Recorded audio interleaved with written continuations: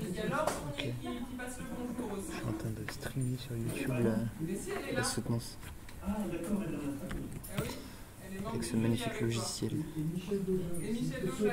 Tu streams sur YouTube Ouais. Comme tu frises les moustaches. Comme tu frises les moustaches. Ah oui, que je. Si je dis conneries, ça passe sur YouTube Non, j'ai désactivé le, le micro, je crois. Les les les cons. Et euh, pour le membre du jury, ils ont le micro. Il faut que je retourne sur ce qu'on entend.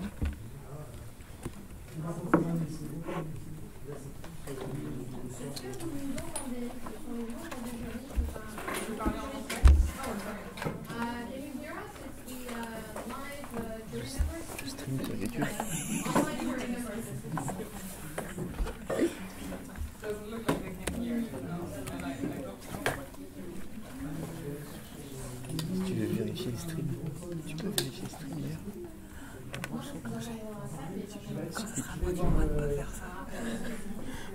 Elle m'a demandé, sinon j'aurais pas fait. Je te. Parfait.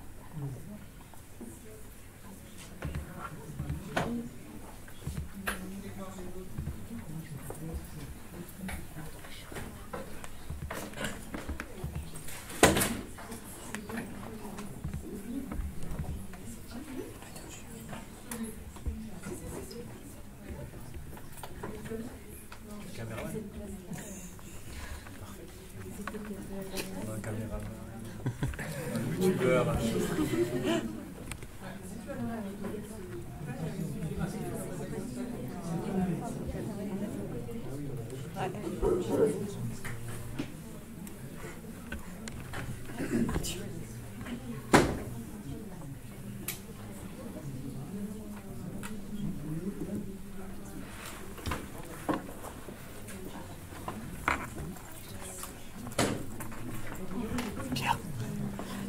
Tu peux vérifier le stream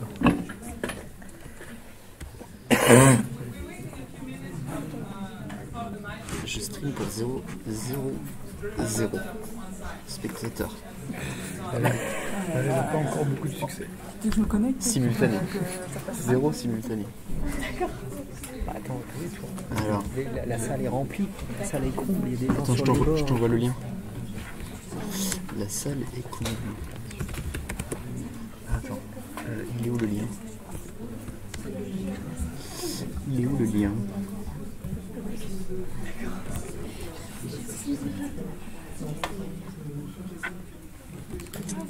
Tu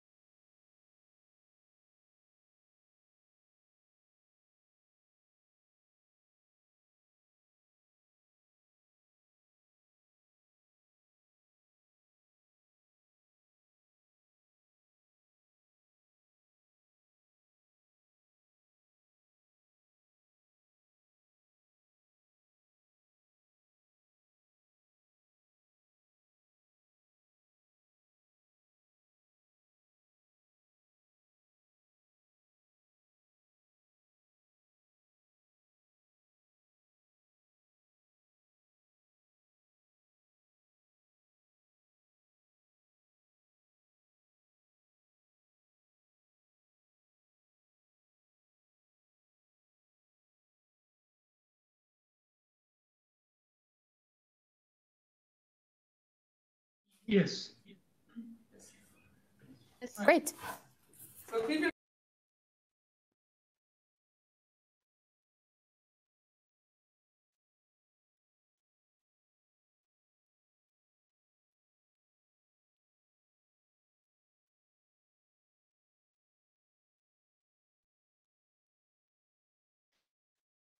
Yes. Great. so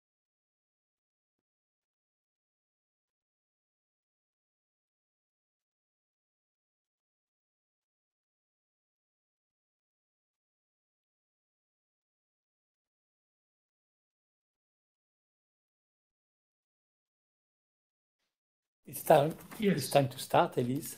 Donc, Elise Bagnier, we are Great. pleased to have you today for the habilitation à diriger la recherche dans la mention signal, image et vision. Um, this is uh, with the presence of uh, Michel uh, Doja. Uh, Michel Doja, qui est euh, directeur de recherche à l'Institut des neurosciences de Grenoble. Euh, Madame Laure Fournier, qui est professeure euh, de radiologie à Paris. Euh, en visio, hein, le professeur euh, Ponada euh, Narayana, qui est professeur des universités à la Houston, Texas, qui, que l'on connaît bien et qui est venu à Rennes en 2008 passer quelques mois avec nous. Et je pense que ce sera une occasion de rappeler son, son, passage ici à Rennes. Donc, le monsieur Jacques Feblinger, qui est PUPH en biophysique at the University of Lorraine à, Nancy. Isabelle Loubinou, qui est aussi en visio et qui est directeur d'INSERM dans le centre de neuroimage à Toulouse.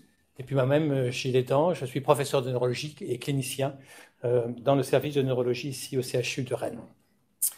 Donc vous avez, Elise, euh, donc, temps de, nous exposer euh, vos, activités de recherche et euh, ensuite le jury, comme il convient, fera des, des, commentaires et posera des questions. Thank you very much, Gilles. Um, thank you, everybody. I would like to thank especially the members of the jury to, for agreeing to work. Um, I will um, present uh, in the next 45 minutes uh, the results uh, of the, my research over the last 12 years entitled uh, Magnetic Resonance for Brain and Spinal Cord Imaging and Multimodal Functional Imaging.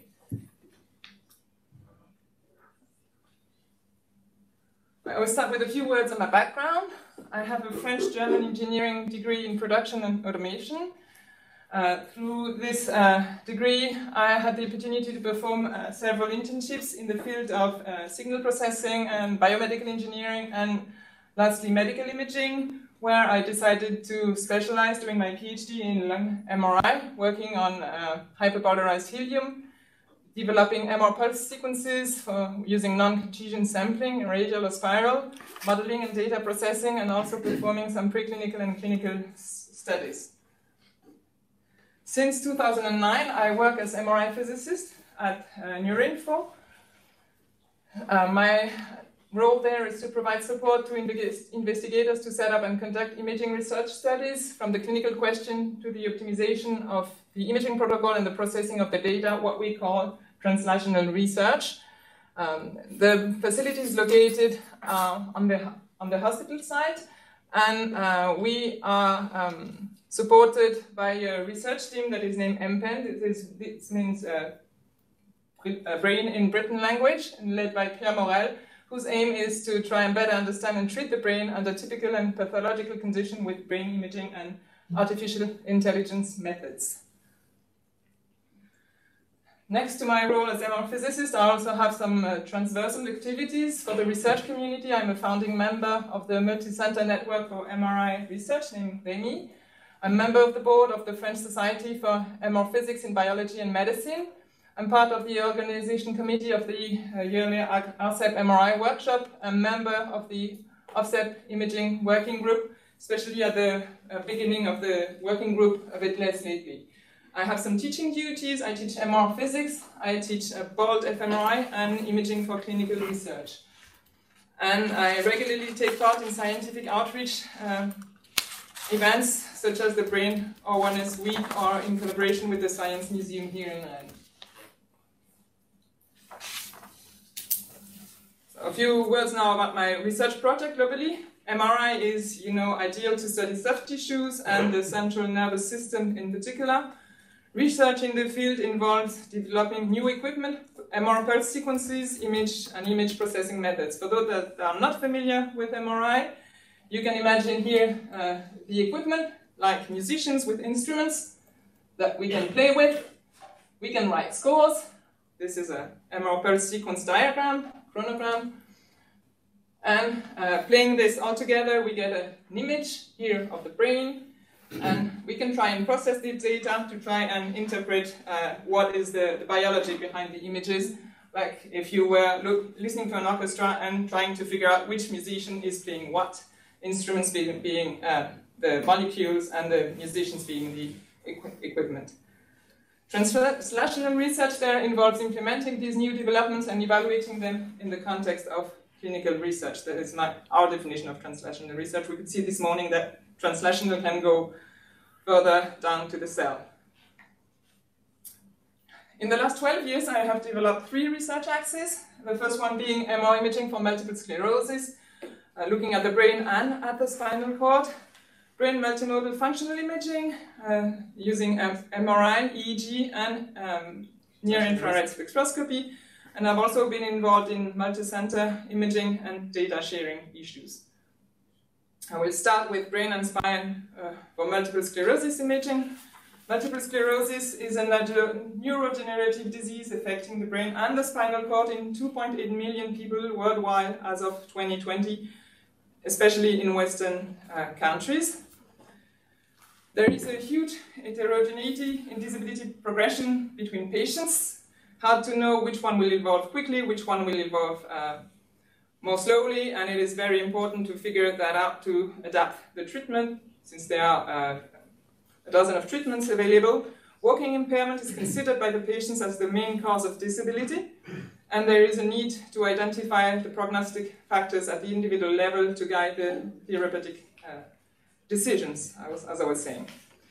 Um, an, an, image I like about multiple sclerosis, um, showing what is going on and how imaging can help there. Um, so there are uh, different uh, imaging uh, techniques and modalities to look at either astrocyte activation, to look at microglia activation, energy failure, to look at neuroaxonal degeneration, uh, to look at glutamate excitotoxicity, to look at uh, ionic imbalance and increased sodium levels, to look at inflammation, and to look at demyelination. We have been working in the team, and I have been working in the team on uh, MRI techniques, that is uh, degeneration and demyelination in particular, uh, but we can also use uh, MR spectroscopy and TEP imaging to look to study MS. So regarding MR imaging in particular, uh, conventional T1, T2, and gadolinium enhanced MR imaging is used in clinical routine to across lesion to assess lesion dissemination over time, uh, dissemination in time and in space, and confirm MS diagnosis. Beyond diagnosis, imaging is also uh, useful and well, very important to follow disease evolution, detect new or evolving lesion, and personalized treatment. There are also quantitative MR imaging techniques that can allow to assess diffuse burden and lesion severity, um, and for example, demyelination or remyelination to see if the treatment is effective. My contribution in the field um, has to do with developing and assessing um, and promoting new imaging techniques for MS brain and spinal cord imaging, starting with identifying, identifying sorry, these promising MR sequences, designing clinical uh, research imaging studies to assess them, conducting these studies uh, in the multi-center context, and um, the premises of the uh, data processing and data analysis. Usually, uh, when the inclusions are ongoing,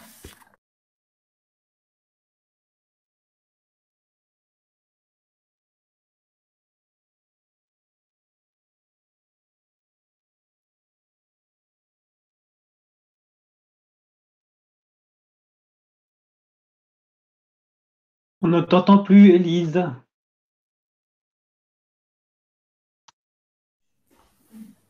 Depuis longtemps On a une, une 30 secondes. Vas-y, continue. Do you hear me all right now? Again? Everything is okay. Okay, good.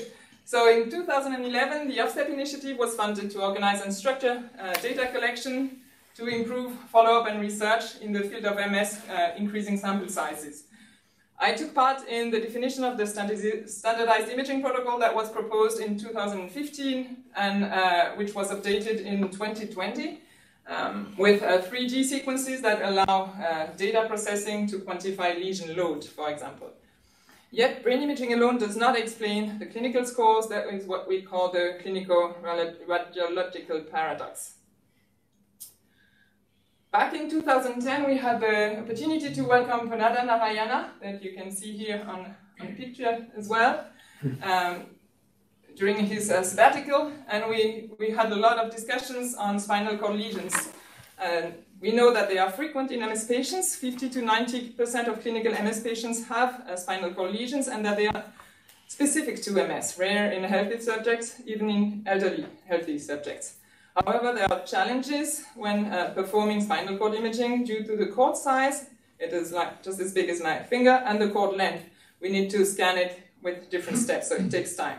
Also, um, there are motion artifacts due to swallowing, breathing, cardiac rhythm, or patient motion, and there are susceptibility artifacts that render uh, spinal cord imaging difficult.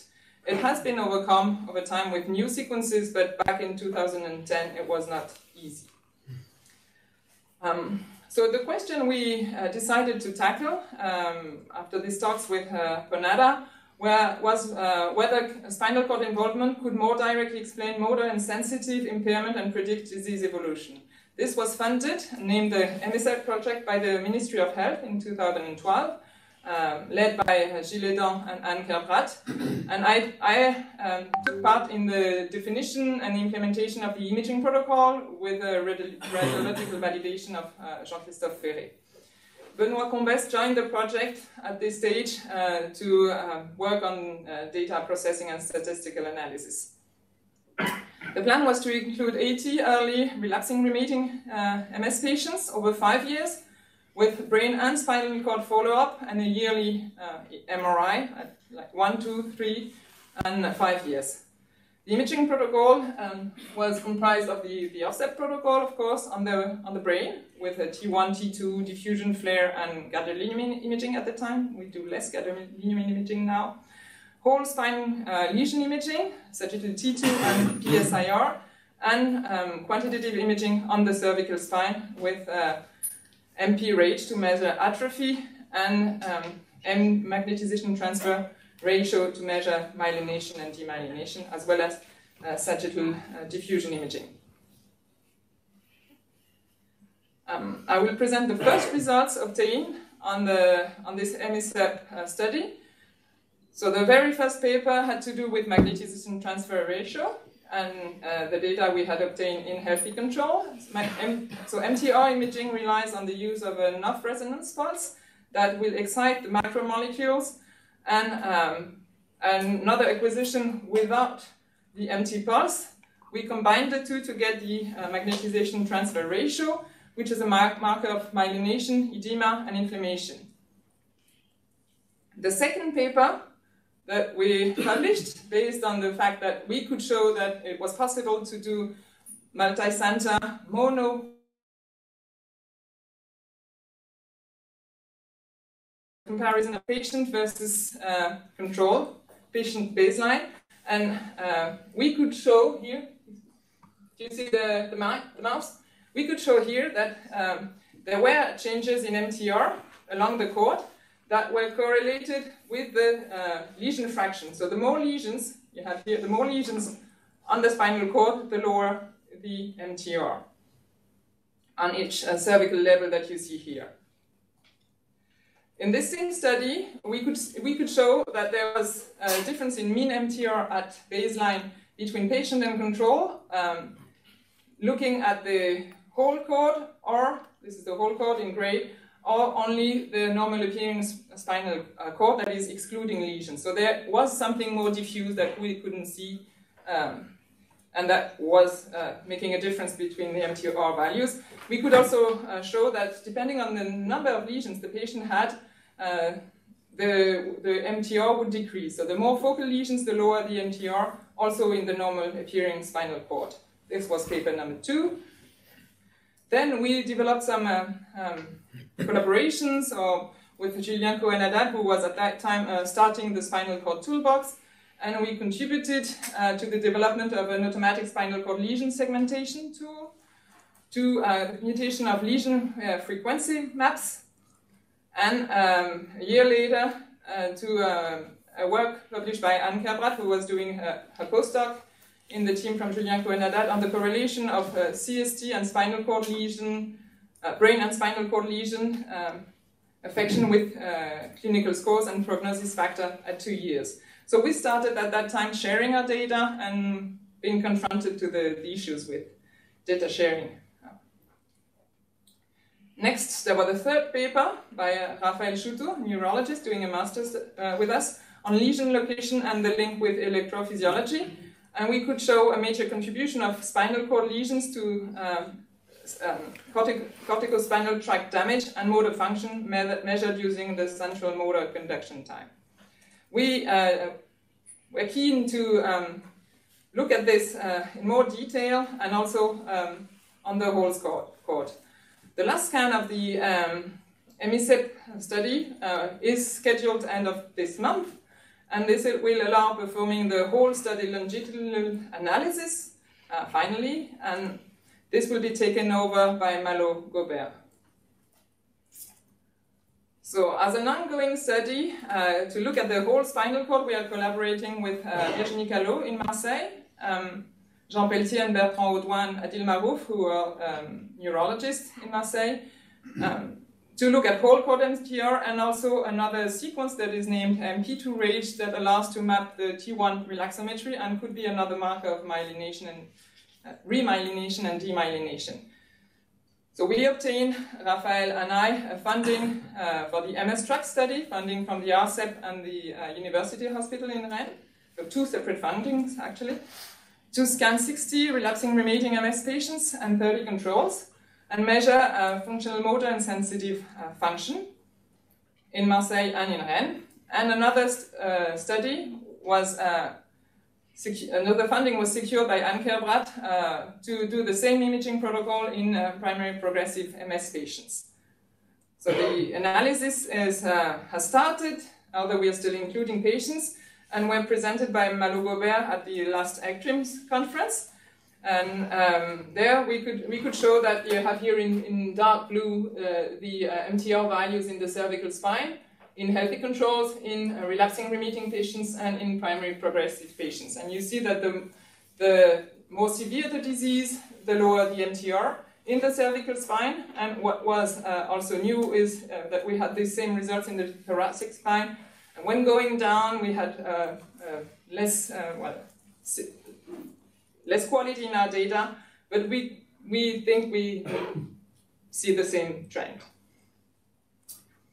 There is a project starting uh, that was funded last year, led by uh, Gilles Edan, uh, named Primus, to uh, develop a computer-aided diagnosis tool for MS patients, including comparison with patients with similar clinical picture, automated segmentation of lesions, and integration of new quantitative metrics.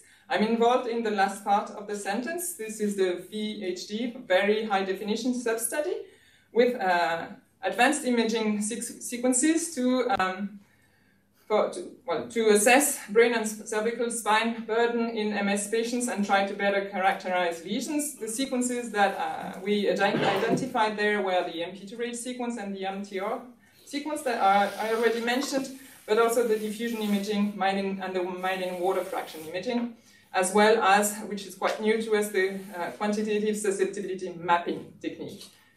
Um, on uh, five centers will take part in the study to include 250 patients at two time points, baseline and at two years, and 50 controls will also be included on the different sites with scan rescans. The work on QSM we will um, perform in collaboration with experts in the field in Marseille with the Ventio uh, company and in Paris with the CENIR.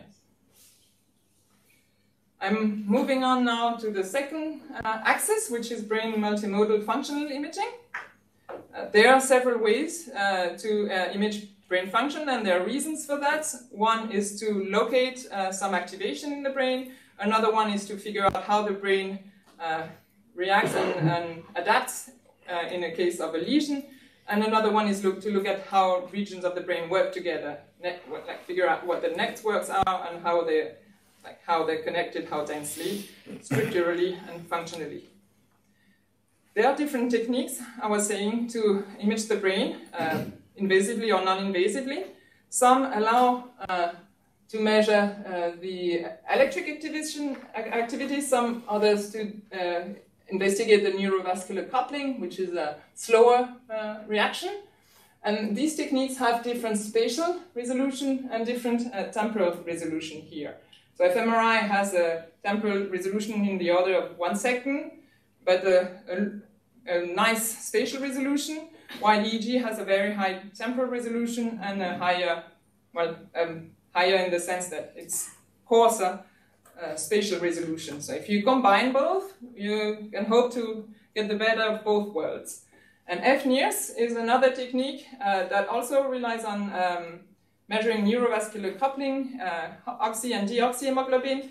Um, so it's a slow response, but we can measure it with a higher temporal resolution, and the spatial resolution is well, is not uh, is not great. Also, the, the the activation is only cortical, but it is portable, accessible. I'm listing here the pros and cons of all the techniques that um, will help uh, decide which technique is relevant for for scientific or clinical question. The temporal and spatial resolution, the coverage, whether we want to look at the whole brain or only the cortex, the portability, the access, the cost, and the expertise to collect and process the data, as well as how well the data will be, uh, will be reused in a different context and shared. At Neurinfo, we have the chance to have uh, several devices to do um, MRI, uh, with an fMRI solution to stimulate uh, a patient with a visual or an auditory stimuli and to record responses. We can also do EEG under the MRI and also uh, MR, um, yes, sorry, um, infrared spectroscopy in the MRI or um, together with EEG or all three of them together. So over the last uh, 12 years, I've been working on uh, setting up for the facility uh, new MRI sequences. We have a research contract with the manufacturer to uh, access uh, prototype sequences, to have an up-to-date protocol to propose to all our investigators. And uh, I also developed expertise in uh, designing bold fMRI tasks and, uh, and in processing this data. In 2014, we acquired the EEG MRI compatible system and had to work there on um, performing secure uh, recordings. EEG in the MRI is not completely unsafe, uh, completely safe, sorry, I mean. And um, so we had, that's one thing. Then we had to work on the signal quality because the EEG signal is um, impaired by the uh, magnetic field gradients. And we had to filter those artifacts and all that we wanted to do in real time. So we um, developed um, a platform for real-time processing uh, for neurofeedback that we named SharpEdge. And in 2019, we acquired a NIRS system compatible with MRI and EEG and have been working since uh, on data acquisition, mastering, and processing uh, pipelines. This is a more recent field as compared to MRI, and there is no consensus on how to, uh, or less consensus on how to process the data. And uh, well, this is something that we are working on. I will now present a selection of contributions in the field of uh, functional imaging, uh, those for which I had the uh, pleasure to supervise uh, PhD students that are represented here. Um, so the first one is on uh, stroke and spatial cognition impairment. The second one is on prenatal exposure and teenage fMRI. The third one is on alcohol consumption in young adults, no students there. And the fourth one is on eating behavior and the use of MRI and FNIRS neurofeedback. This one is currently ongoing. Student is in the room. So the contribution there is to provide expertise in multimodal brain imaging in humans, um, to uh, contribute to designing the protocol and designing the task, implementing it, um, performing, conducting the imaging research study, and uh, also taking part in the data analysis. I will go over the, pro the projects individually in the coming slides. Stroke is one of the leading causes of long-term adult disability worldwide, with, with 12.2 million um, stroke happening per year, per stroke. That is like at starting at 25 years old, uh, you can consider that one adult out of four will uh, get a stroke someday. There are different kinds of stroke, ischemic or hemorrhagic, and ischemic is the um, major one. Right hemispheric stroke, in particular, uh, uh, affecting the right brain, is associated with balance disorders, which um, is an issue in uh, rehabilitation um, departments because it leads to an increased risk of falls and impaired autonomy. So there are um, different techniques to try and help the patient recover from their balance disorder. But the way these uh, programs are working, um, is not completely understood, and there is no consensus, consensus either on which technique to use and which uh, rehabilitation protocol. So Isabelle Bonan obtained the funding uh, for the study named AVC Busting to investigate this effect uh, with two uh, rehabilitation techniques, neck muscle vibration here, inducing an illusion of movement, and prismatic adaptation. After a right hemispheric stroke on spatial, spatial cognition, uh, cognition impairment. 89 patients were included in eight centers. That was the clinical study, and there was regular clinical imaging performed uh, for all patients with uh, no standardization, but just the regular uh, stroke imaging on chronic stroke patients. Next to this, there was an ancillary funding for an fMRI uh, sub-study, and that's where I got involved to, to design the fMRI task that could help us understand mechanisms uh, that were underlying uh, the rehabilitation techniques and the neck muscle vibration in particular. So we um, implemented two tasks. The first one is called the subjective straight ahead task, where the uh, participant sees a line going from left to right and has to say when this line is crossing the midplane. And the second one is a subjective longitudinal body plane, which has to do with um, it's it's not the same kind of perception in space.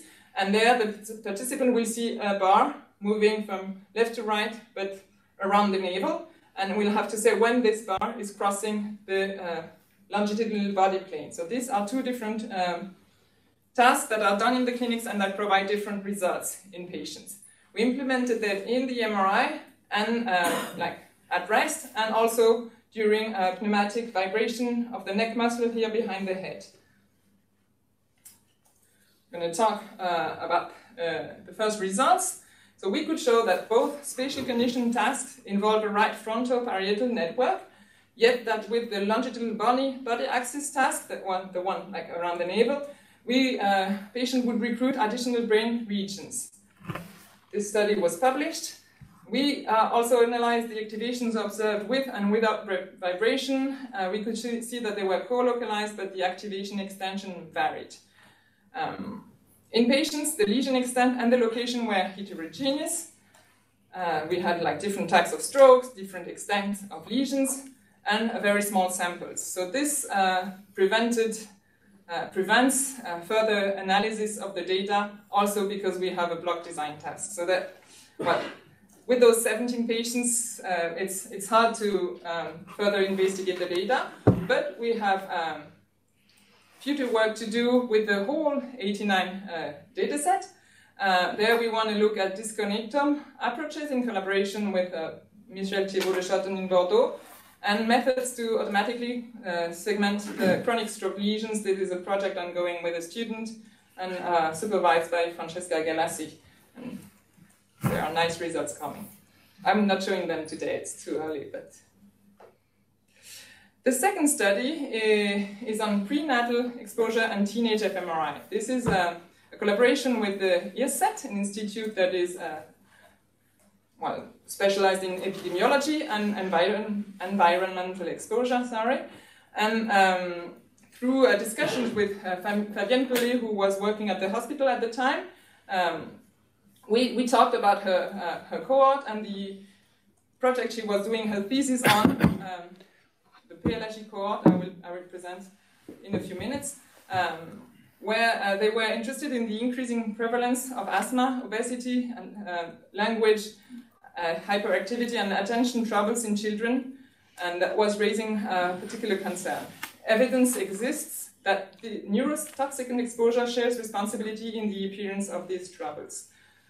The PELAGIE cohort was funded um, to investigate the effect of prenatal exposure to chemicals on child development. This was an epidemiological study, um, and so in 3,000 uh, patient numbers we, we don't have in imaging, unless we share data, we pull data together. Um, and um, those, um, those women that were included uh, were, um, were, had some samples uh, taken at well, when the child was born and also when the child was two years and six years. And they were looking at uh, solvent exposure, such as glycol ether, that are solvents that we find in our domestic products at home or at work. Um, there are few studies on the subject, but some studies suggesting an effect on executive functions. The second family of chemicals that was investigated is pesticides. Um, so you probably know that there are effects on the brain and on the health. Using pesticides, numerous studies have reported effects on attention and working memory. And the idea there was to look at uh, more subtle expositions, not very high expositions like uh, farmers will have, but exposition we can have when we live in a semi-rural environment next to, next to a field. Um, and with, together with Fabienne Pelé, we, we decided to try and set up an imaging study at the age of 10 to 12 years. That's how the, the children went, uh, were when we got the funding. Um, and we had the opportunity there to uh, supervise a PhD student named Anne-Claire Binter, that we supervised uh, all three of us together, Fabienne, Cécile, and I. So the, uh, we had the data from, from the prenatal data, birth data, data at uh, six years, and data between 10, uh, 10 and 12 years where we did an fMRI examination. So this was a sub-study on uh, 101 children. They had the MRI and they had a neuropsychological tests just before the MRI. And the MRI included morphological, diffusion imaging, perfusion imaging, and task fMRI with a GoNoGo task that um, allows to study motor inhibition, and um, working memory task named N-back. So these were the, the tasks that I, I talked about earlier functions that we know were possibly uh, modified, impaired by the exposition to chemicals. This is a short uh, example of the go-no-go task. So the children had to um, press a button when the smiley was green and refrain from pressing the button when the smiley was red. There were more greens than red, so they tended to uh, to press the button every time. Also, when it was red, they had this difficulty to inhibit their response. So we found um, the expected activation clusters in motor inhibition and attention regions, and we tried to correlate these activations with uh, the expositions that we that the children had on both chemicals separately in our population, there was no major impairment of motor inhibition performance. The children were doing good. In our sub-study, we had removed all the children that had other issues, alcohol exposition, traumatic uh, injury. So well, they were all doing great, and they were also all participating in the study 10 years later. So it was probably a, a bias there in the selection of children that were taken part we could find differences in brain activity when comparing the, the betas in the regions of interest and the exposition, but there was no consistent, consistency there um, between all the indicators that we were looking at. Also because our um, exhibition, uh, exposition um, rate was very low. In the other study on chemicals, there were more uh, correlations between the uh, pesticide level um, and the activity in the frontal cortex and the regions involved in the inhibition network. We need to further, further analyze the data uh, because we have other modalities that we have not looked into yet because we have a second task and analyze them all together to assess the data set more comprehensively. This is a work we intend to do with, uh, with Julie, who's a colleague at Empenn. The third uh, study is on alcohol consumption in young adults. It's a study that we um, started in 2015 as a collaboration with the Public Health School. Um, the collaborators are appearing in, uh, in the order in which they are listed here. Researchers at the Center for Marketing Research and um, addiction specialist at the hospital, and Quentin Duché, who's a colleague now expert in MRI processing, about fMRI processing, working with us on those studies. Um, there are in France 14,000 alcohol attributable deaths as of 2015. So that means like car accidents, but also diseases that can develop from consuming alcohol. There's a social cost estimated at 120 billion euros, and um, according to reports from the uh, Observatoire Français des Drogues et Toxicomanie, young French people do reveal high risk drinking patterns. 13% of them report at least one binge drinking per week over the last 12 years. So. Mm -hmm. There are also studies that have shown subtle but significant deleterious effect of uh, alcohol consumption on cognitive function already in young adults. Um, moving on to the marketing uh, issue, uh, you see three ads here uh, for, for, alcohol, for Aperol Spritz. Um, you see the French one on the left. This is the one that is respecting the Evin law. I believe you're all familiar with, with this law that says that you should only show the alcohol and nothing but the alcohol. So you can use colors, but no context. And what you could see in Spain is the same thing with people, and you can also have it with uh, celebrities. So we designed a task that would allow us to show what was happening in the brain when presenting a simple event uh, ad and other more uh, like context-rich uh, uh, ads. This was um, funded uh, by the INCA, the Institute for Cancer Research, and um, we included 74 men uh, performing MRI and a test uh, measuring their alcohol consumption. They were doing this test in front of an addiction specialist, so they were not lying on their consumption. We did some morphological imaging, diffusion imaging, perfusion imaging, and a task. So that was a long task, 25 minutes, because the subject had to see 288 ads. So that was a bit, could be a bit boring, but the, the, the, the, the ads were really nice. We had a marketing agency design them, they were realistic. And this is what is original in this study also, that it's done with realistic studies. We had various contexts, neutral, uh, sport context, people, celebrities, and we also studied, that was the public health note in the study, various warnings. The standard warning that you know, that you can't probably see anymore, but it's there at the bottom, same on the bottle of wine. And another one that uh, is more striking, right, with a mm. big desk and a, and a shocking picture. So Karine Gallopel that we are working with uh, on is also, was also involved in the neutral tobacco package. So it's the same strategy there to be more shocking. So we compared uh, the results obtained, uh, the de declarative answers from the subject, uh, since uh, they were seeing all the ads and every time they had to answer whether uh, this ad made them want to consume the project or not. And uh, we could see here that when there was a pictorial warning, well, they felt less like consuming the product. So they were sensitive to the, to the, to the pictorial ad. Looking at imaging, that was our, our goal in the end.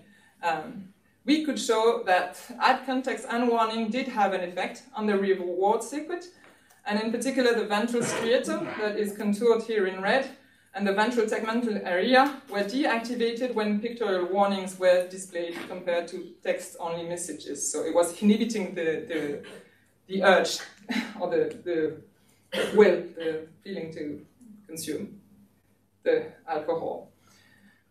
Since we have obtained, I have obtained additional funding from the Institute uh, on, in Clinical Neuroscience here in Rennes, um, to study drinking patterns and brain imaging trajectories in teenagers and young adults, uh, working on the not the not only the IMAGE but also the IMAGEN database, which is a a much bigger database with uh, longitudinal data. And this we are doing in collaboration with Gabriel Robert, who's also a colleague in Empenn and in the room.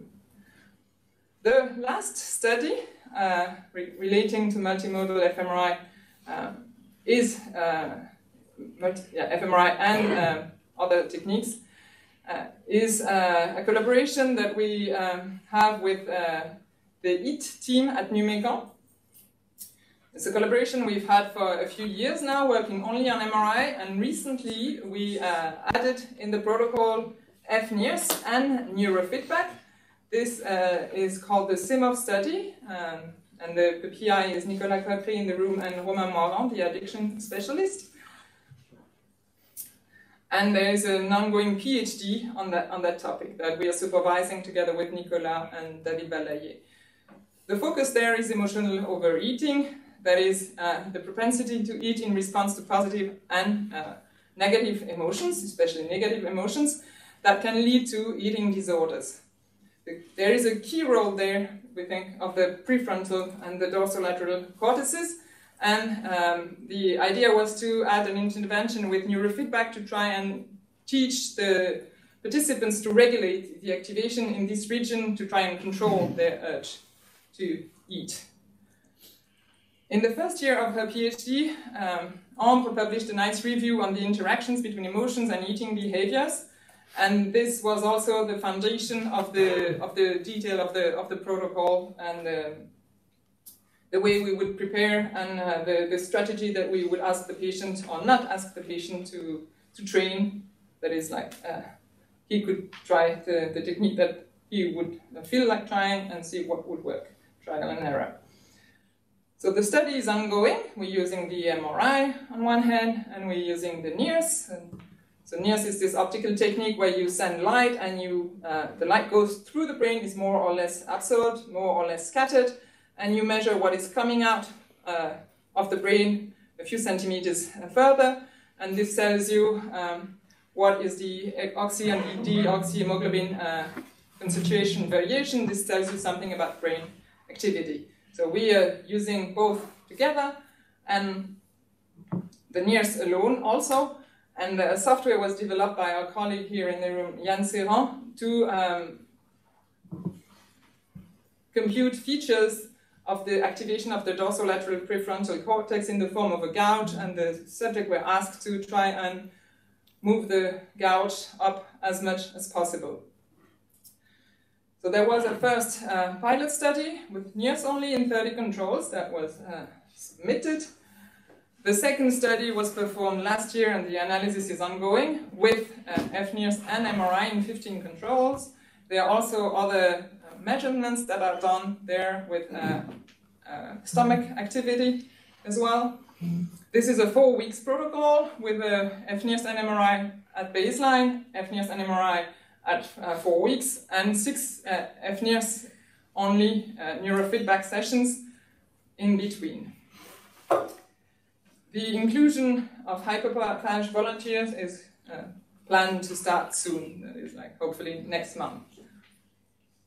Last uh, theme is uh, multi-center imaging and data sharing. This also comes from my work as research engineer on a facility.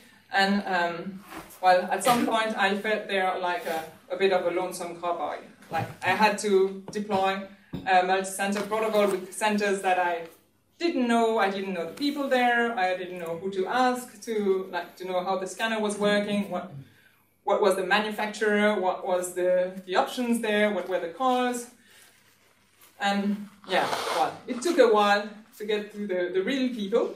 I found them, and because they were also quite lonesome on that side, on their side, on that topic, we decided to create a network in 2015, uh, 16, sorry, um, to exchange our expertise on this or another topic. And um, we've been uh, since uh, uh, 112 centers data. The best is if you control it as it arrives, so that you make sure that if sequence is missing, you you collect it, or if it's too late, you don't make the same mistake for the next, next participant.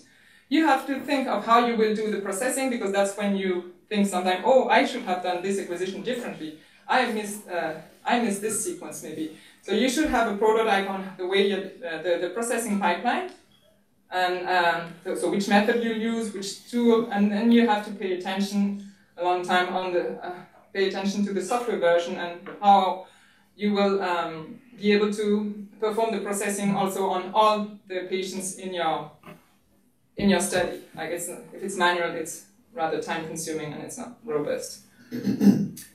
so regarding data collection, there are tools and infrastructure and uh, Michel here is very involved in the France Life Imaging um, Information and Analysis and, Management Node that uh, advocates for um, common tools to collect and store uh, data and make it available to the people involved in the study initially, but also to the rest of the world in the end. Um, in Rennes, we are working on one of these tools, which is named Shanoir, for sharing neuroimaging resources, but you can also put some non-neuroimaging there, as long, as long as it's DICOM. And uh, INRIA is supporting a Shanoir uh, consortium that was created like a few months back uh, to um, bring all the users to talk and make suggestions of, of next features. I am here um, showing uh, photos of the current developers uh, that work on the further development of the tool. Um, and but this is well, there's a new one that I don't have the picture, but yeah, the three of them are there, have been there for quite a few years now with us. So um, beyond the level of the multi-center project, data sharing uh, uh, enables to um, share the data um, with the rest of the world, at least the rest of Europe, depending on the regulation, and not only uh, between the consortium members.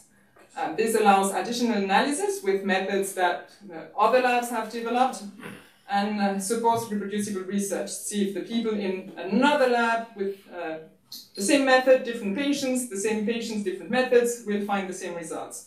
This is ensuring a most complete and ecological use of the generated data. So what advocates for data sharing is reproducible research and public funding. Those projects are funded by public money and we should make the data available to as much as many people as possible so that the data is, is used completely. But we also have to respect uh, the private uh, regulations, private life regulation, and the GDPR applies in Europe. And we have to make sure that we have participant consents for further uh, data sharing and um, that we keep the participants informed on what happens to the data um, that he, uh, he agreed to, uh, to give. In collaboration with Camille Maumet and Anne Bell, who's data protection officer at the University Hospital in Rennes, Camille is a researcher in the team, uh, and the cost, European Cost Action GLIMR, uh, which was involving neuroscientists and lawyers. Um, we, we, we discussed about the fact that brain imaging data was considered as personal health data and sensitive data. Um, as such, um, since it was highly complex and unique, even if even removing the metadata with the patient name and the, the address, uh, it remained in itself um, sensitive and had to be pseudonymized, could not be anonymized. It was very, very difficult to get the agreement from the CNIL that it was anonymized. So we uh, consider by default that it cannot be anonymized, it needs to be pseudonymized. Through this cost action, we um, took part in the uh, generation of a proposal of a consent form for the participant to agree uh, to um, take part in the present study and also to agree for the data to be reused. And uh, a second document um, named the Data User Agreement was also proposed uh, to be able to share data. This is all summarized in a publication uh, from uh, Human Brain Mapping, as, um, in 2021, and available in several uh, languages, uh, translated by the respective uh, lawyers, and available here on GitHub if you're interested. we have um, since um, included this, these recommendations in all our IRB applications. With Camille and Anne, we also took part in uh, writing of a book chapter on ethical and societal issues of new imaging um, technologies. We had a bit of a discussion this morning on that too. How well will the tool be used? Will, will it be used correctly? Will it be used um, like uh, where will the data go? How well will it work in a different context as the one that it was uh, validated on, different, a different population, for example.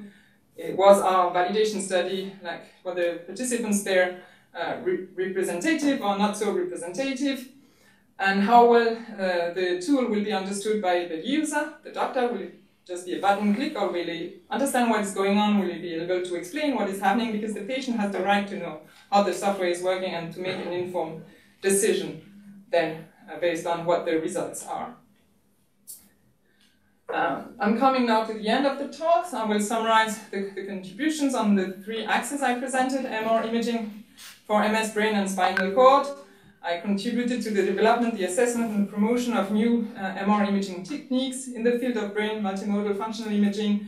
I contributed to the development of new tasks and application for MRI, EEG, although I haven't talked much about it, and uh, CNIRS. And I also uh, made a contribution, I believe significant, in the field of multicenter imaging and data sharing to provide recommendations and contribute to the development of tools. My perspectives for the coming year on those three topics are for MR imaging for MS to uh, deploy the VHD protocol with uh, up-to-date and uh, robust sequences to develop spinal cord QSM processing. I was talking about the fact that we wanted to do QSM on the brain. This is already validated, working fine. Spinal cord QSM is more of a challenge, so we will try and tackle that. And if we get the funding for that, maybe when we renew the scanner, I would be very happy to uh, work with uh, non-proton uh, nuclei and do, for example, sodium imaging. In the field of brain multimodal functional imaging, we already have started um, a few uh, projects to perform EEG and MRI together and measure dynamic connectivity mapping of both of them together and try to inform one uh, with the other um, project from uh, fMRI for pre-surgical mapping uh, will be developed this year with a master student starting uh, in March.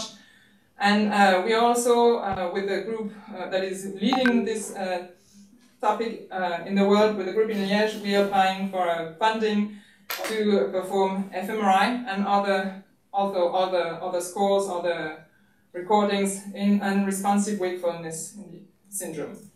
In the field of multi-center imaging and data sharing, um, through the Shanoir Consortium, we will push uh, to make uh, the data uh, fairer, that is more findable, more accessible, interoperable, and reusable.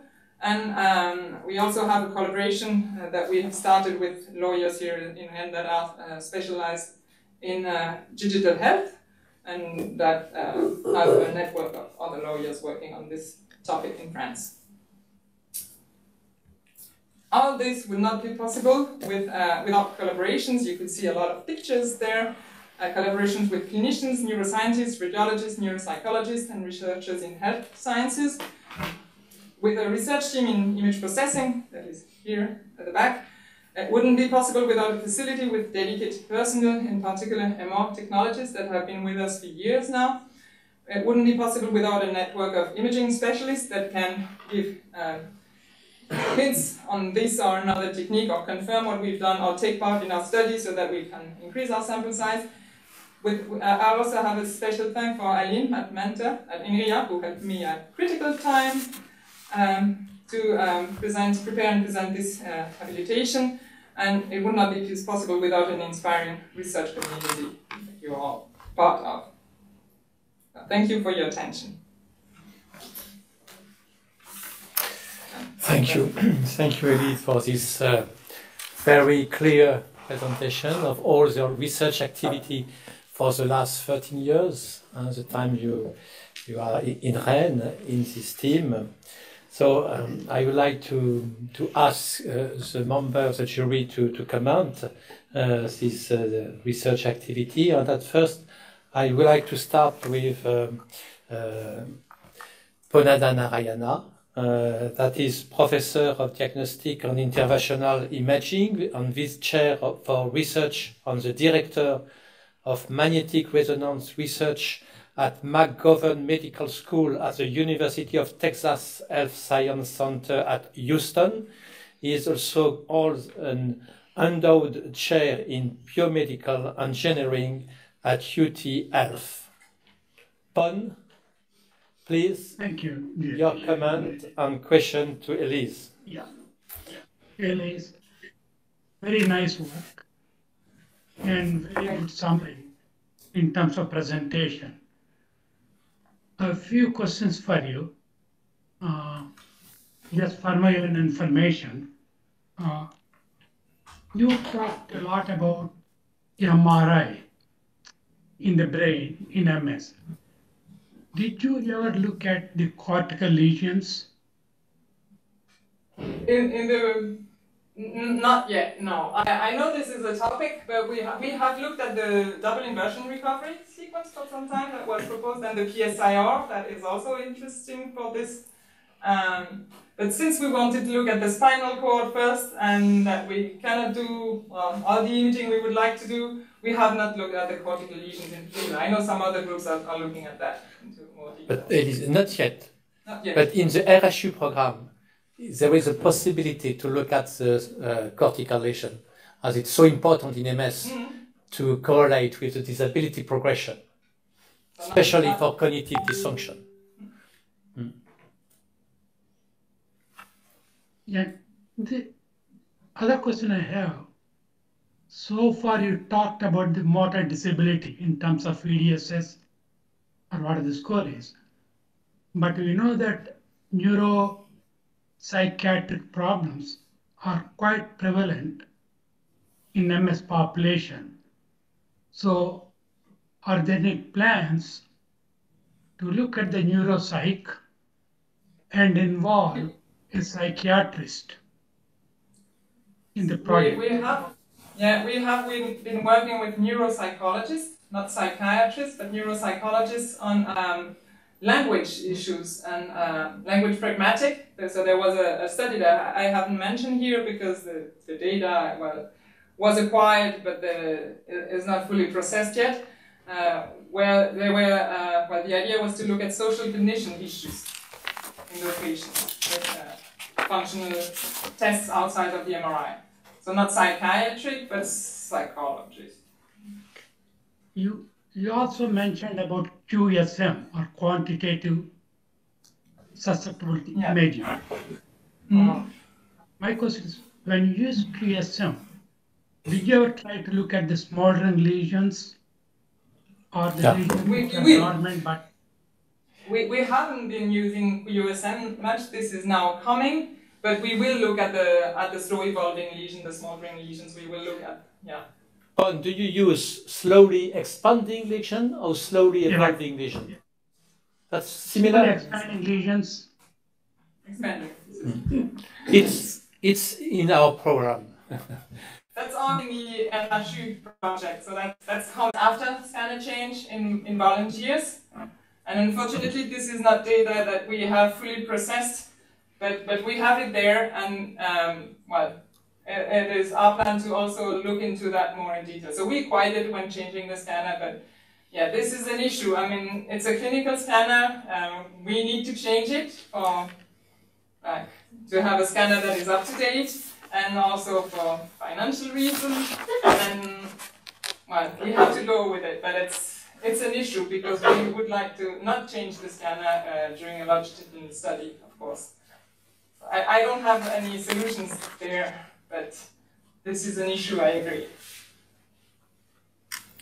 My final question is when you you talked about neural pathways by combining, let's say, DTI uh, and functional MRI, specifically resting state potent uh, fMRI.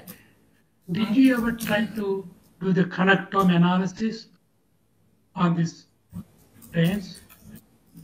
I, I myself haven't. I've been working on task fMRI mostly, but uh, there are people in the team that are interested in uh, functional and structural connectivity. This is a, the research topic of one of my colleagues, so that is also a subject that we want to look at. But My final comment is you are involved in amazingly large number of studies across different uh, centers. How do you find time to really handle each and every one of these things? It's real time consuming Yeah. and very labor intensive. yeah, it's uh, just like 24 hours a day here as well, so I mean, it's just it's frustrating. You cannot, well, you have to do things a bit quickly sometime and you have to get help from centers, but it's, yeah. And you need to be well organized, I'd say. Congratulations for a job well done. Thank you, Bon, and we hope to welcome you here someday again. Hmm? Thanks. What was the plan for today, initially? Till I am done, Thank you, Ken. Uh, uh, I will ask, ask uh, Isabelle Loubinoux, that is INSERM Research Director uh, in ToNIC Toulouse Neuroimaging Center at the University of Toulouse. Thank you um, to, to, have the possibility to to see all this work, um, and uh, thank you for the invitation. I, it was a great pleasure to to read your manuscript, which is very clear. Uh, also, your presentation is uh, clearer. Um, I, I like in the manuscript the small summaries at the end of each part. Uh, so mm -hmm. it was really uh, a pleasure to read it. Um, you, you have um, publication in uh, very good journal, so that's a point uh, to say. So congratulations on this. Um, what what I like also is um, is um, which is very rare is uh, an HDR uh, of an engineer. And um, and all this work we we don't always uh, often see uh, is now um, uh, is not very clear and um, and what I also liked is um, we talked about this morning is the ground truth. And um, when we're talking about all these problems that arise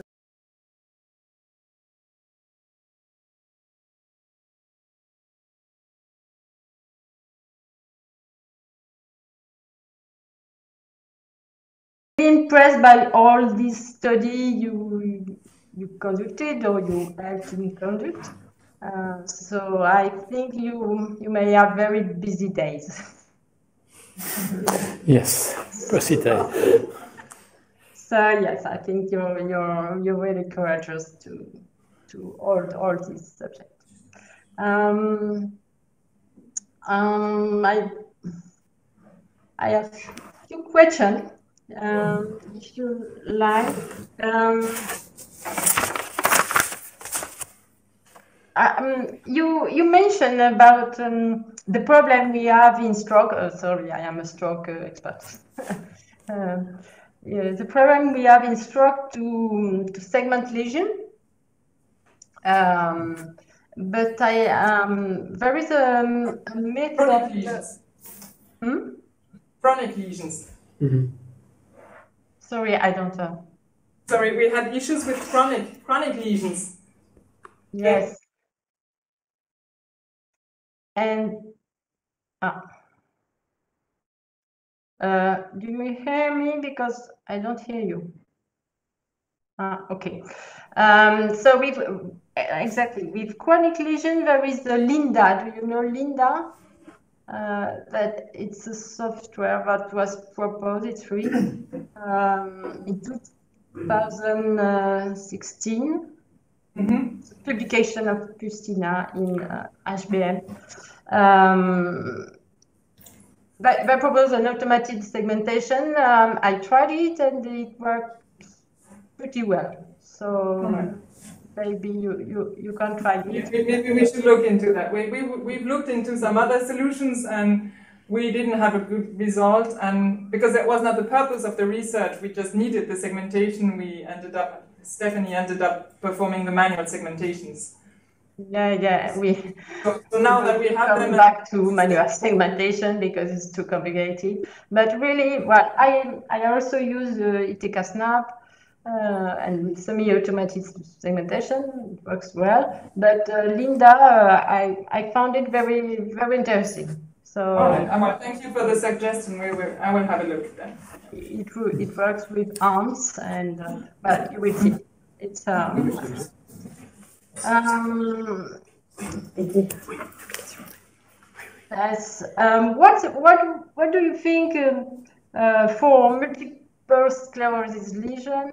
Um, you talk a bit about in your manuscript of the uh, the years of uh, a seven Tesla scanner uh, that have been uh, uh, seeing more precisely uh, lesion uh, and re demyelination, discriminate both processes. Uh, what do you think of, uh, of this? Yeah, I think you can see more with 7 Tesla, but it also costs more, and you need a, a bunch of physicists to work on the system. It's more like more ready to use now than it has been in the past, but uh, we hope to get one one day. That's yeah. also plan in discussion. But um, yeah, you, you can see more, but I think there's still possibilities to work with three Teslas because that's where you you also have um, you can also scan patients more easily and, and you have more, more data. So what I heard is that when you see something at seven Tesla and you go back to three Tesla, you see it, and with the improvements at seven Tesla, uh, other other field strength also benefit from it. So I'm just it would be great to work with a seven Tesla, but I think there's still a lot that can be done with it. Tesla scanner. I don't know if that answers the question. But. And are you are you convinced by the? Um, they say we can see remyelination. Uh, well, I look at at some publication. Are you convinced in those MRI biomarker that will say like remyelination here, uh, or how can they say it's not just an intermediate lesion? Uh, how can they say it's remyelination? Uh, are you, are you, you convinced by this biomarker? I think the, there are several biomarkers, right? So we need to compare them to see if they all do the same thing and what it really means, really, like well, remyelination, demyelination, what, what is happening there biologically. And well, it's it's hard to be sure if you don't have histology, right? And we're not working with uh, histology yet, but um, yeah, I, I, I believe um, I believe you can you can still be, uh, characterize lesions using quantitative MRI. Mm. We're trying our best. Mm -hmm. Yes, uh, histology is is really necessary for determining biomarkers of course. Um, okay, I'm, I go through. No, one on the bottom. Activation. Oh, sorry. I was. I was these are these are the the activation of the straight ahead task, the one with the the vertical bar, when the subject is being vibrated. Okay, and what stand stand for the blue clusters and what stand for the red? Crystals. Yeah. Uh, Activation, uh, deactivation, maybe. I yeah, uh, yeah. Well, I, am We're not too confident in those results because we have very few subjects.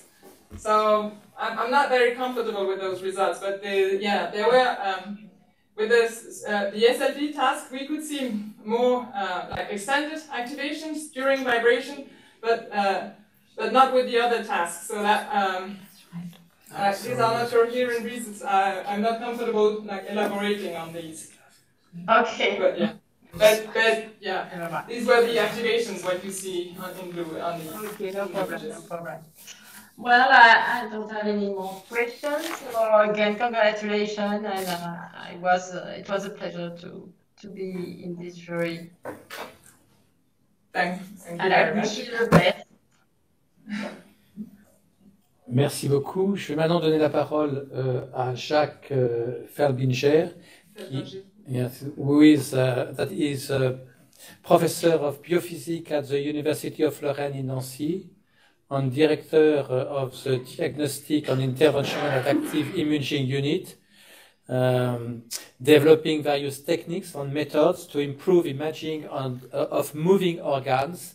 His research covers several research domains, the MR physics on the acquisition of MR images, the clinical methodology and validation. and he is the coordinator of the Nancy Clinical Investigation Center. Professor Felblinger. Thank you, Gilles. Can you hear me? Yes, I think, yeah. Yeah. So, uh, first I would like to tell you, I, um, it was a long time that we started to discuss about the HDR. I'm very happy that it's today. We are close to the end. It's perfect. And to, to answer to Isabella, you can you can see here that an engineer can do a lot of very very nice research, and um, even with uh, Michel speaking perhaps later, that uh, an engineer could also go to a director of research, and there are other steps after. So I'm happy to be here, and uh, it was very interesting to listen to you. It was uh, clear, and uh, you're also a good teacher, I think, and also go in this direction. so I want to go in a few questions uh, with a more technical issue. I'm sorry for you, and I know that's not completely. I need to suffer a little, thank you.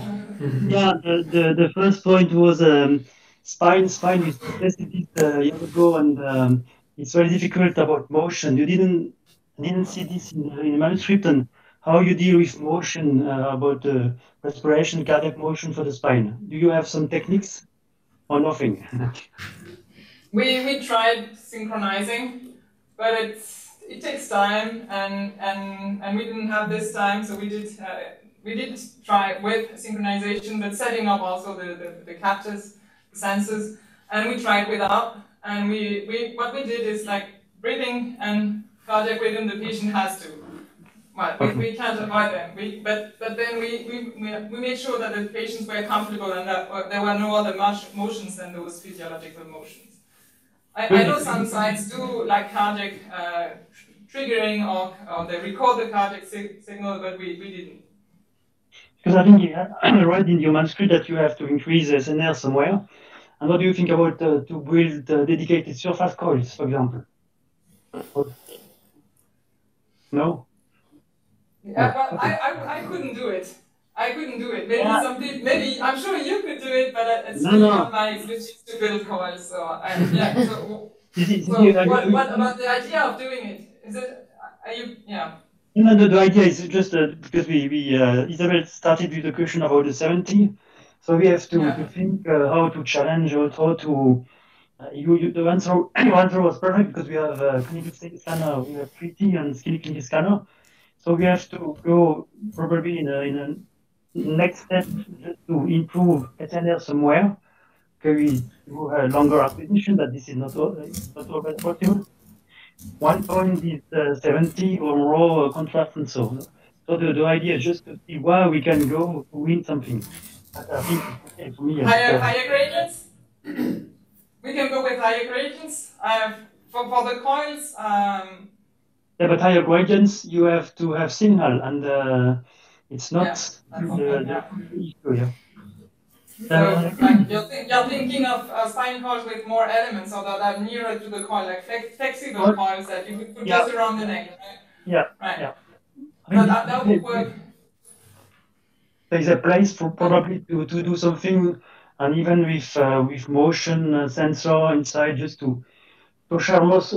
You, you have two type of motion. You mentioned it just before, uh, the respiration, uh, cardiac, but also the big uh, motion of the patient, and this is uh, boring, and then we have to handle this. Okay, so the the next next topic you didn't speak about this, but uh, we talked about this uh, two years ago about EEG and fMRI. Uh, so, so the, the um, today you are using this every day or uh, without um, hazards, I think. And Yeah, uh, without hazards. not, not at all, no, no problem at all. Okay. And um, here you, how you, s- how you. Today you are confident with the technology, completely. And how, how, how, Trick question. how, how, Uh, to, how to teach the people just to be uh, um, safe enough? Well, I'm. Well, we, we've had the uh, the discussion last year. We're doing uh, uh, electro um, right? Where the, the same um, provider that we that provides the EEG CAPS also provide um, peripheral um, electrophysiological uh, recordings. And, and we tried to do that, and there was the question of the, the patient comfort and the cable length. And, and I insisted on limit, limiting the cable length to 40 centimeters, which is also what the, um, the provider is um, recommending. So I, I'm, and I'm quite strict, I think, with the, the people that do the experiments, and I tell them, uh, be careful the material, don't damage it, let me know if something is wrong, if, and, and also, well, take care of the patient, take care of the material, and But here you see that we have um, um, new rules about the, the MDR medical medical uh, device uh, regulation. So, and um, this was my last question, but I come now with this uh, uh, area. Um, you see, today we will have more and more question about the ANSM, CPP, and, all- and all these uh, regulator, uh, how to deal with safety. And here, I think we have uh, some problem. Sometimes the, the the device are not CE marked. So we have to prove that it's correct. And for EEG, for example, um, how could you do it? Do you have an idea how to prove it that it's safe? You can do it, you have done it, but it's not a good Yeah, you've, you've, pro- you've proven me that it should not be safe, it should not work. So, uh, but No, you told no, me no. that we had to give No, no, my point is not to, to uh, stop research, just, No, I know it's not your point, but so, you're, you're, you you told me like two years ago when you presented uh, Yeah. security uh, aspects that uh, it, it is well. We're you lucky see that it's working because it's not uh, it's not as well it's not it's not it's not not safe. It's not, it's not what I mean. I mean, using the, yeah, we are using the same system as you, and uh, the question was about our neurologist that use a new sequence, a for someone. So you have to go through the safety issue. At least you have to, to test more or less if you have heating or not, and uh, so you have to go through this this safety test before you are running this on patient or, or, or volunteers. Hmm. It's just uh, what we have to, to When, think when, of. we, when we did, yeah, when we received the system, we, we had them come with thermometers, and we did uh, some heating tests back then. And uh, there are only a very limited number of um, people, postdoc, that are allowed to manipulate. PMO technologists will not manipulate the system alone without someone dedicated to it that would make sure that the cable are straight, that they are um, like maintained, and that we make sure that we don't have heating. We, we never had heating, and well, I, I, Okay. but Uh, so the, the, the second point what you mentioned, it wasn't very interesting. I like uh, Remy, as you know, the, the bottom-up uh, system. I think it's, this is a really good example what you have to do in science. Um, uh, you have done a lot of job there, and uh, I'm very happy to, to see that uh, you, like you, you're right. Later, it's still running, and still, still without uh, conflict in the the bureau, I don't know, the, in the board, and uh, you're still working together. At the beginning, it was only a, a woman woman club, but now you have also uh, uh, one guy, okay, not so much. A bit of uh, ladies, but it's okay. I, I agree. Yeah, no problem. So continue, continue with this. This is very good. Just I go to- back to to this uh, this multi-center stuff. Uh, you mentioned in your manuscript that you travel, you're traveling head and spine and you didn't explain exactly what you are doing. It's uh, a real spine. What are, are you, who was used? How how you? yeah, yeah, we did, we did, we did volunteer. We went to Marseille. Ah, volunteer. Okay, it was not a, an extra vivo. Uh, No, ah, okay. we're not doing Okay. any extra vivo Ah, stuff. okay, so okay. it's just the So it's- collaborators in Marseille are coming next week, and we'll Okay. scan their slides, and we went to Marseille to scan ours.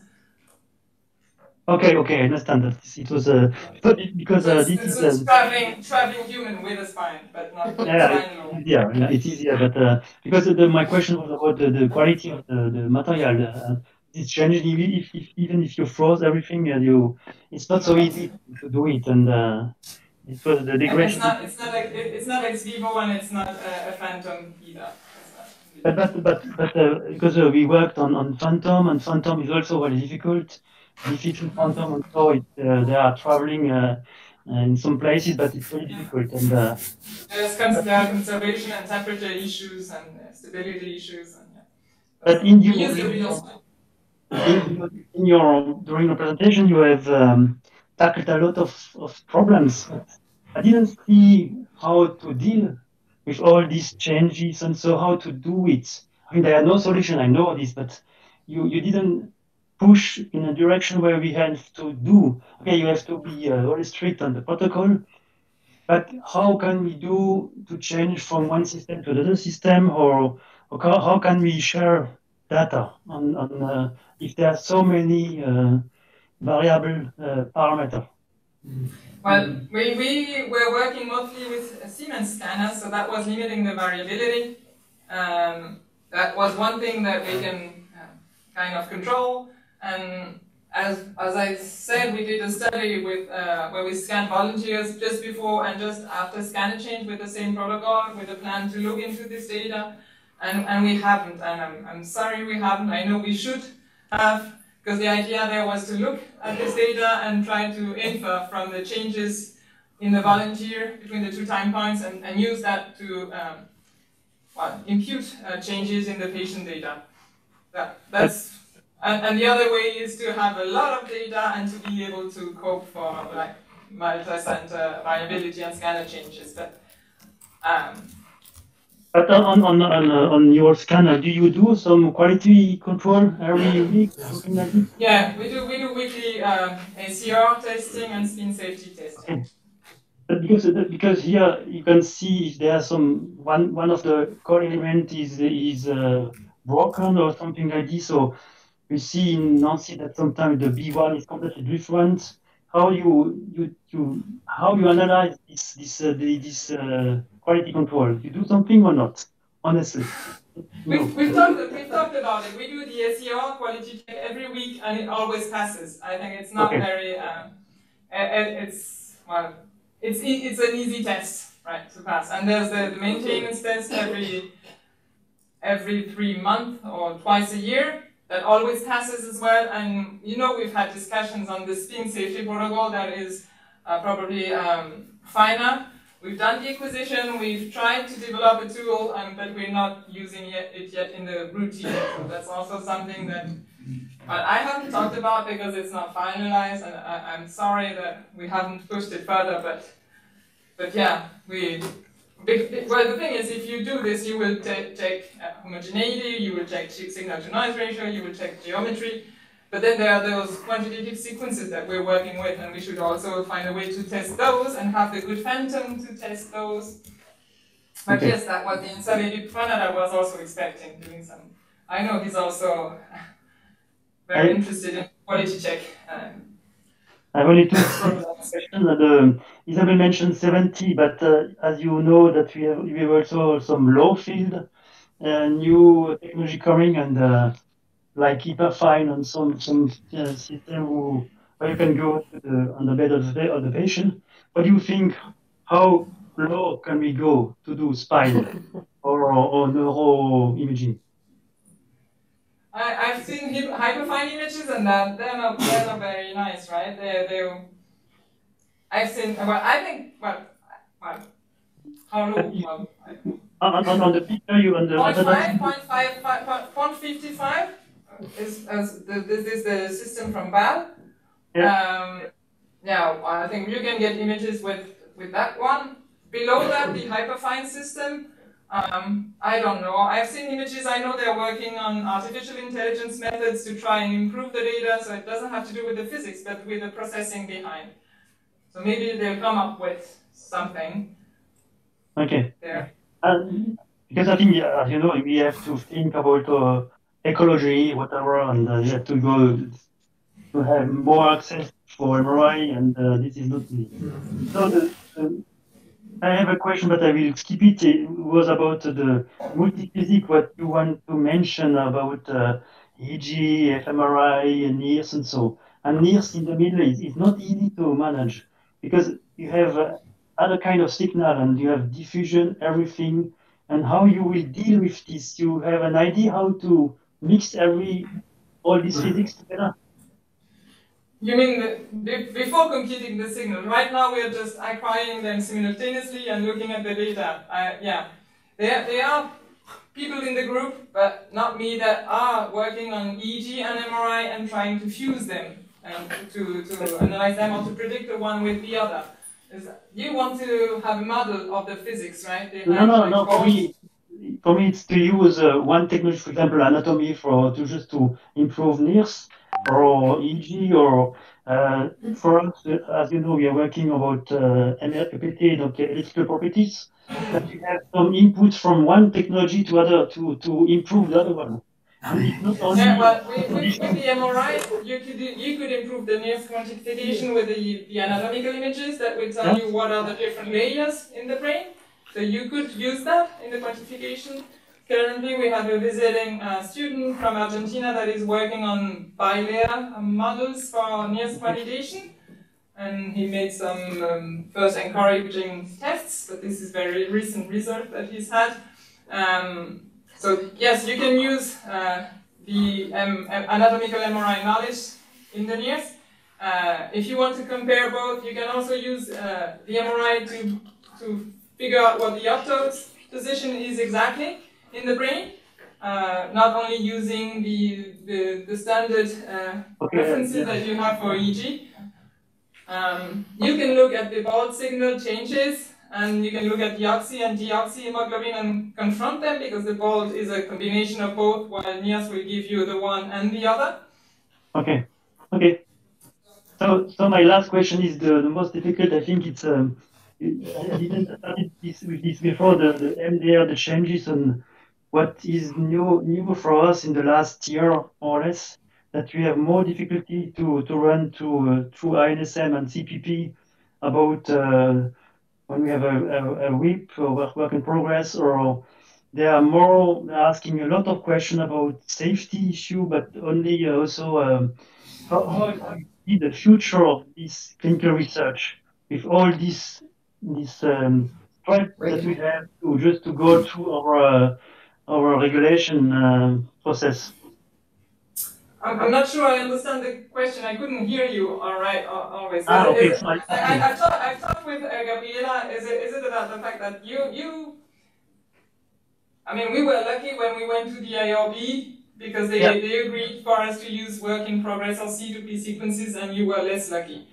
I, I, I know that, but no, no, I'm, so... not less, I'm not less lucky. The, the idea is just what I see for, for the last year, that we have more and more questions about uh, the, yeah. a lot of issue, not, not only safety, uh, it's only uh, how did you test this, and so if the, the, the, the package is not marked for, for a device, for an antenna, for a sequence, for a WIP, for post processing. And I think that we have more and more regulation today that um, this will um, uh, slow down our research. And we have to find some solutions to go through, and also to find how to, um, to prove that it's safe and how that we. Yeah, to, to reassure them, you mean? Yeah, this is pretty new, and this, this is an issue for your center, like our center. Yeah, yeah, yeah. Well, it's uh, like the IRB, we, we uh, that reviews our project is selected randomly, so it's yeah. it's yeah, we could have the same juries, and I know people are like looking more and more into the, the details of the, the techniques and the, the equipment that we're using, and they want zero risk, right? Yeah. I, and I know this is a difficulty, and time is another difficulty because getting the agreement takes a lot of time. Exactly, this is another point. Yeah. And I, I know other countries have uh, like easier procedures maybe to get their IRBs. So I, I, I know this is a, an issue and we need to work on reassuring them that the scanner, uh, the material is another issue, but at least the sequences, I mean, if they're running on the scanner and, and the scanner is um, limited, there are like there are watchdogs everywhere, we should not uh, yeah. We should not heat the subject, we should not heat the gradients too much, we should not be able to damage anything, unless we have the password that we should not use and that we use it.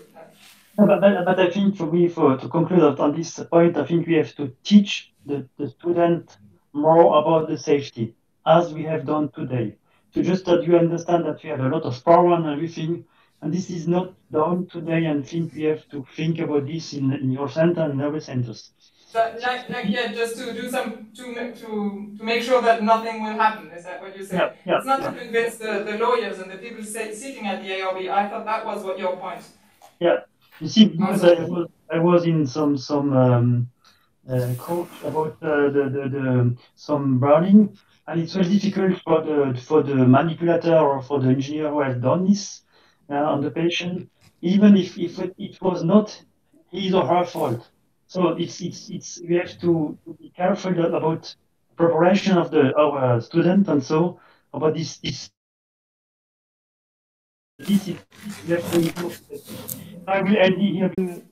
I'm, you know, uh, um, I'll say uh, as the the previous uh, jury members that um, I think it's very um, it's very encouraging to see uh, platform engineers go through that process because um, I think it really enriches uh, uh, the community in general.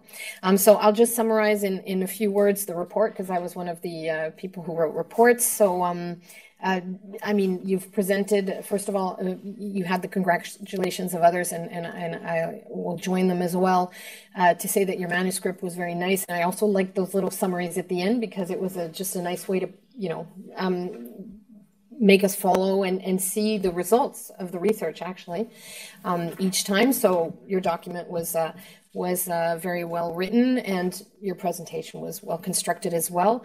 Um, so when we write a report, they ask us to you know uh, specify a certain number of items. Um, so uh, your scientific production, as uh, previous members have also said, is very rich. Um, it also, I, I find, illustrates how collaborative your your uh, research is, and I think that's, I mean, it it it's linked to to your position, of course, in, in the facility, but um, it also is, um, I think part of your character and and and something that makes you a, a, um, a precious person to have in, in in our community in our imaging community I also find it very interesting that you've that you've worked on those white papers because that also shows a maturity and a vision. Um, I think that's what's interesting is to have a vision of what you where you want to go and where the community should be going or and how you can contribute to this. So um, yeah, I just wanted to underline this. Um, you also to have this HDR um, have to prove that you've that you have students that you've uh, that you've uh, helped uh, in their work, and so you've obviously had a lot of uh, uh, basically mostly master students. Of course, it's logical until you have your HDR, you can't uh, you can't have uh, your own PhD students, but you've co yeah yeah I yeah you've co uh, directed uh, several PhD theses. Yeah, I saw, and that is normal. That's the way it's supposed to be, right? Uh, to start by co-directing and and moving on. And uh, what is also uh, nice to see is that all of that work that you've done with the students have allowed them to publish because that's also our job when we have our students to push them in that direction and help them get to the the uh, the end, the logical end of their research, which is the publication, right? And then, um, of course, what uh, is very important in in uh, in your personal implication is the the uh, collective activities. It was called like that in the in the report, which is your contribution to the community.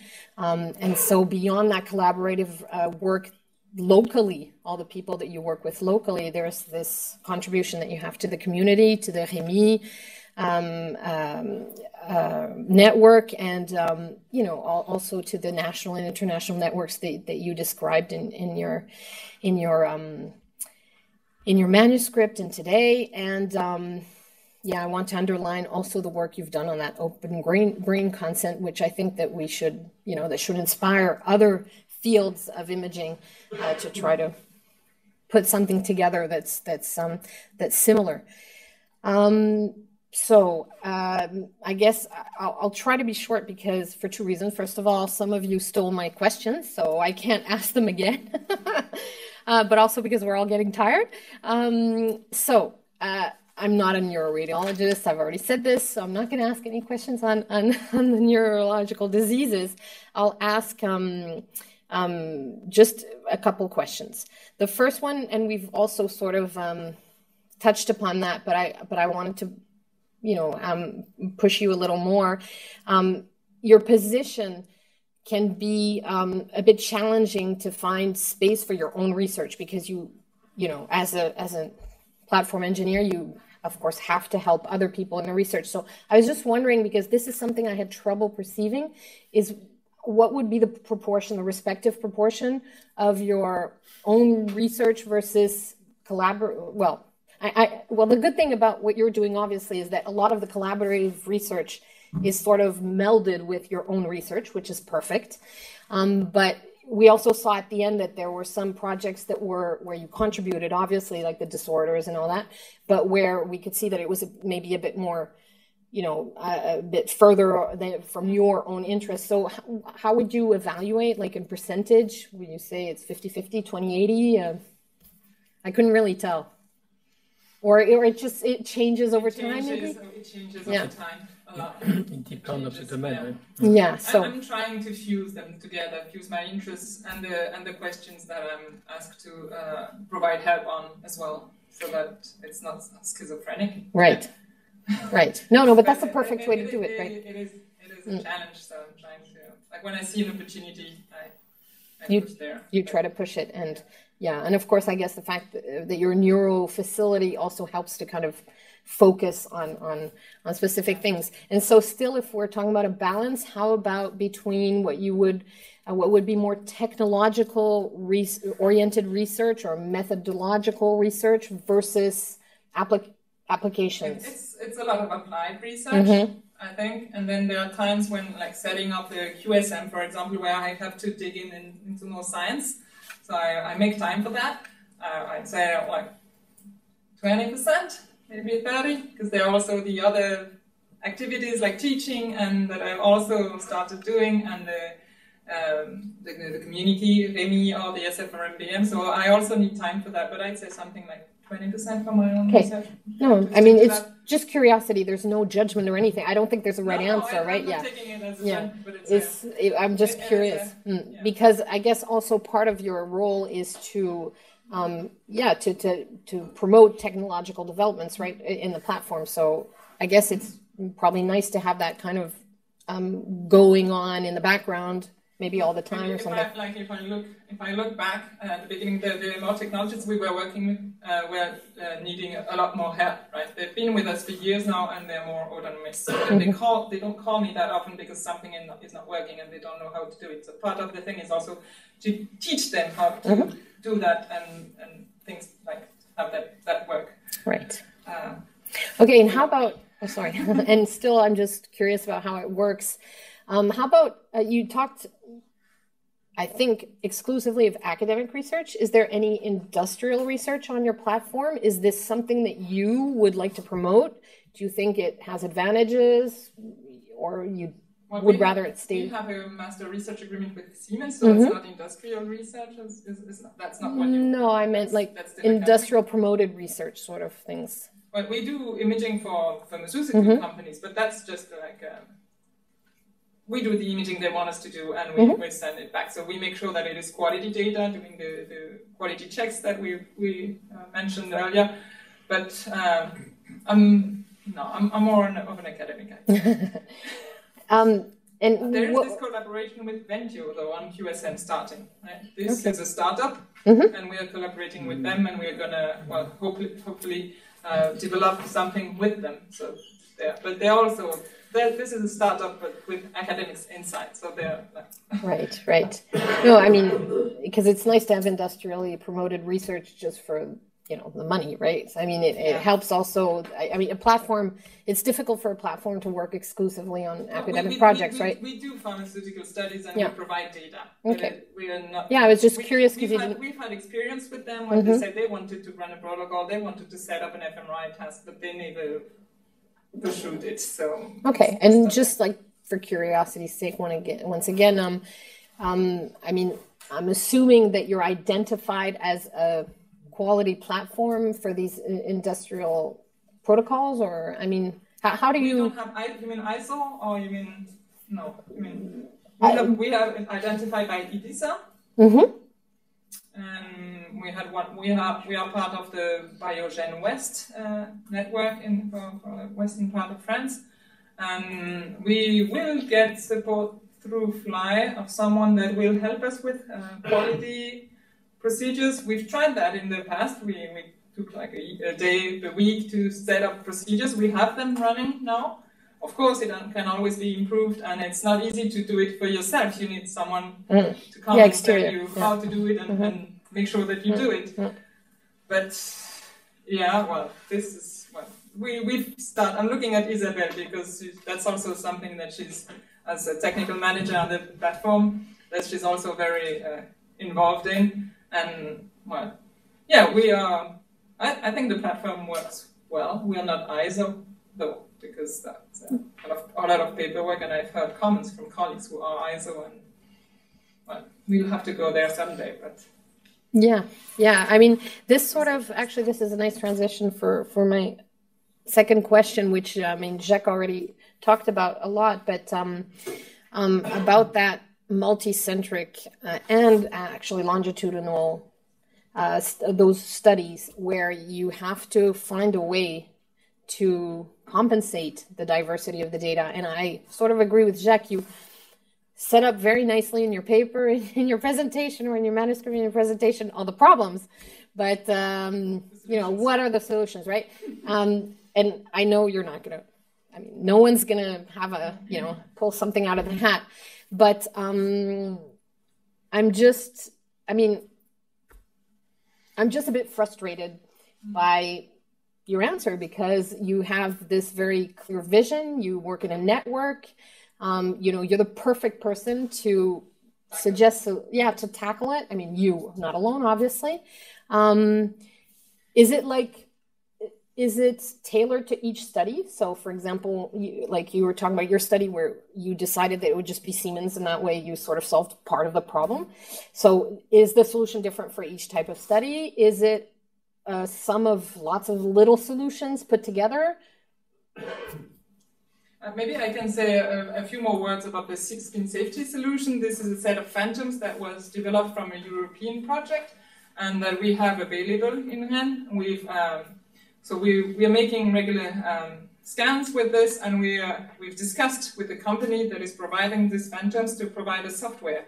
And we um, we it's not me developing it; it's um, someone who just retired, but we have a software there that we would like to share with the community so that everyone can have this phantom, do the scans, and also do the processing, which is right now very time consuming. You need several days to do all the processing manually.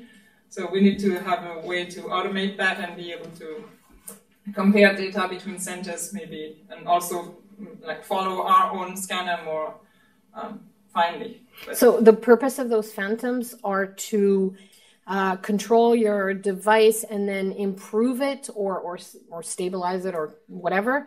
Or is it to then have common data sets and you will post hoc, uh, you know, adjust data like? I, I think the first idea is to make sure that the scanner is, is doing okay and identifying uh, subtle changes and also alerting the manufacturer, if we see something changes, we have comments from our colleague in Tours who says that every time there's a maintenance, there are some values that are changing, and the service engineer says, I haven't done anything. that sounds familiar, right. yeah. Right.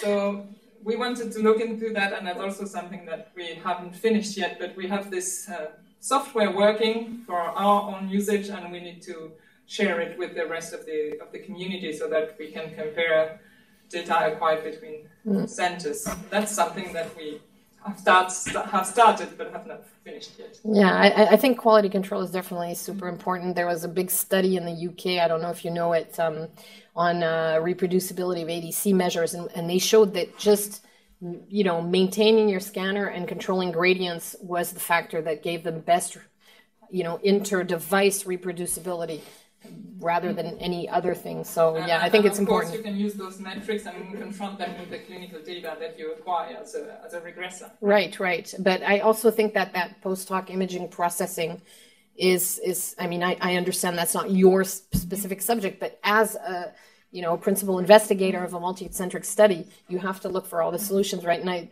do think that you you have to do some corrections after as well because. Mm-hmm. Otherwise, what are you? I mean, it's what you were talking about when you change your scanner you know, you've just changed it. You can't do anything about it. So you have to find the solution to compare your previous data to your to your current data. Um, uh, so so that I don't. Um,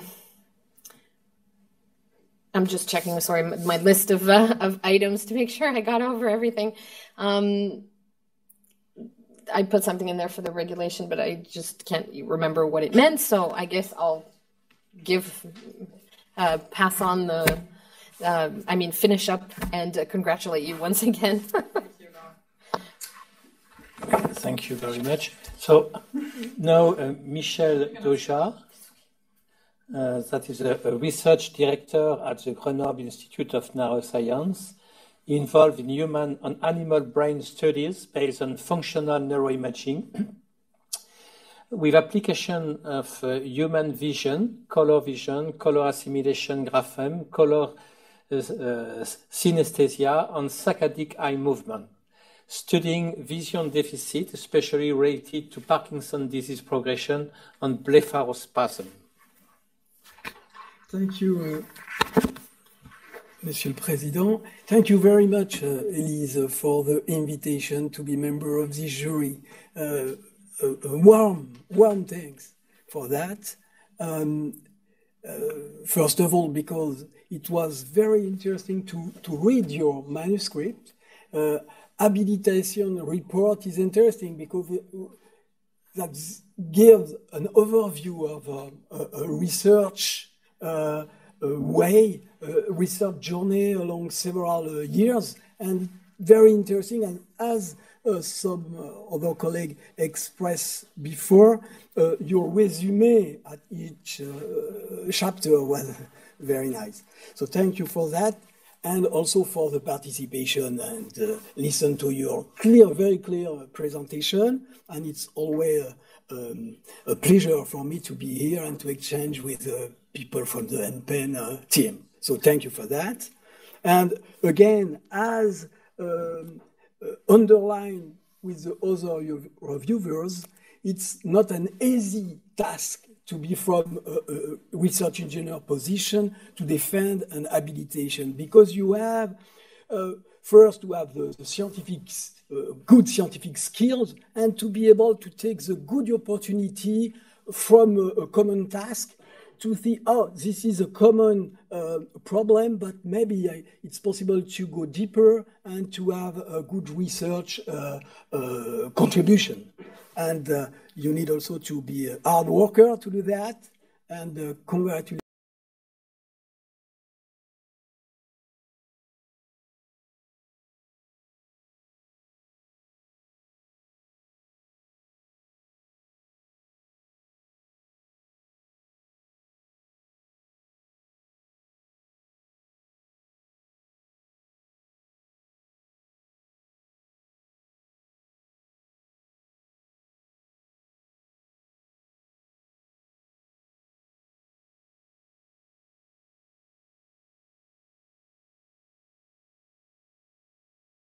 Questions, but I will try to add some, some comments or some question. Um, in the, I will start with the sequencing of your presentation. So with the, the MS application, you mentioned a, a spin anatomical spinal cord toolbox for the segmentation of lesion. Is this a, a, a shareable tool? What is, yes? Toolbox, yeah, yeah. Okay and a lot of people. This, this, is the SPM for, for the spinal cord. Okay. Right? So, it's very, so you have a, a, lot of people using it. It's a yeah, good example of, uh, of, of sharing tool. Well, it's not a tool that we developed, right? It's the tool that the team from Julien Cohen-Adad in okay. Europe developed, and we contributed by okay. sharing the data, and we're using it. okay, but, but you not, don't we're not contributing to the software to the software, I don't think yet. Yes, okay. we have another software in the team that is called Anima that we're also using together with the, yeah, yeah. the, uh, the spinal cord. I don't think, I, am I'm, I'm not doing the processing anymore. I started with the spinal cord toolbox when it, when it came out and uh, where we had no dedicated personnel to do the processing. I'm not doing it myself uh, anymore these days. So maybe Malo or Benoit could comment on that, whether they uh-huh. have contributed to the code but uh, maybe later after the the questions. I don't know. You want an answer now? No, no, no. It's okay. It's okay. I can see Malo just behind you. So. Okay, okay. we'll discuss later. And and for you, you make a lot of of innovative um, uh, contribution around the, the, the, adaptation of sequence for the MS application. And these sequences are also available to the community? Yeah, yeah. We share the, yeah, we you develop sequence code, we optimize sequences, and we, we share the protocol, the PDF. I mean, okay. Of course, if you do multi-center, you send your PDF everywhere, and it's used by the Great. center for, for other things. It's used by the CATI when they set up their protocol. Okay. And that's also the way that uh, Julien cohen is working. He's also trying to standardize the spinal cord protocol and sharing that, and we're, we're, we're okay. we're trying to to match the standardized protocol so that we can also pull our data and compare our, our results. Right? Okay, and if I have understood clearly, with this uh, ABS uh, uh, uh, multi-center study, the main problem was to, to share data because you have a very strict acquisition protocol. The main problem for the sharing, for data sharing, was the change of scanner, uh, to change the version of scanner and so on. That's the main problem you have? The main, with the, you mean the EMISEP study? Yes. The main problem we had was uh, this quantitative sequences to have the okay. same sequences on all scanners. Like I was talking about MT. Yeah. Well, it had, well, we had Philips, T, and Siemens at the so beginning. And we had to give up, well, MT imaging on well, we tried on Philips, but we only they only included a few patients in the end, so we did we, we didn't look at this data because mm. well, the clinical workflow wasn't was not uh, providing enough uh, patients. But um, so that's that was the main difficulty. I mean, making sure that we had the good contact person. I know people in Bordeaux yeah. were trying to do some scans for me. I couldn't go there and and and they had no expertise on the device, so they could not do what I was hoping they they would do. Mm.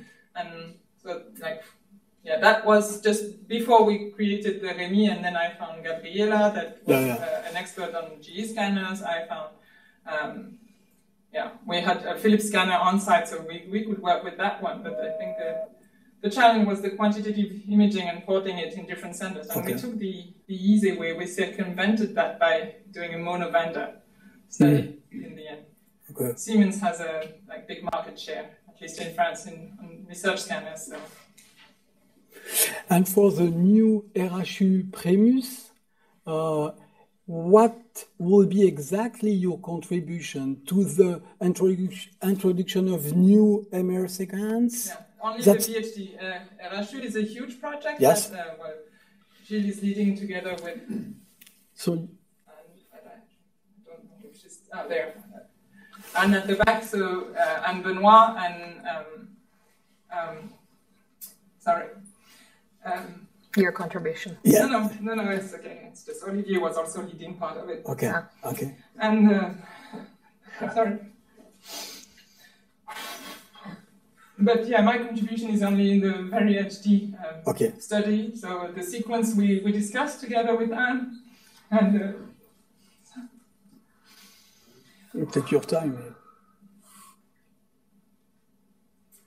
And my role now is to transfer them from site to site, so to find the, the, the parameters that we will make the sequence um, doable in terms of time mm-hmm. and quality, and also um, well, see which center will be able. So we defined this at that time. Yes. We defined the centers together. We didn't start from the like the network of neurologists that would be able to include patients, but we, we started from like we only wanted five centers, and well, we, we sat together and said, she works well with those and those neurologists that they have the potential to include patients. And I said, well, yeah. I'm, mm-hmm.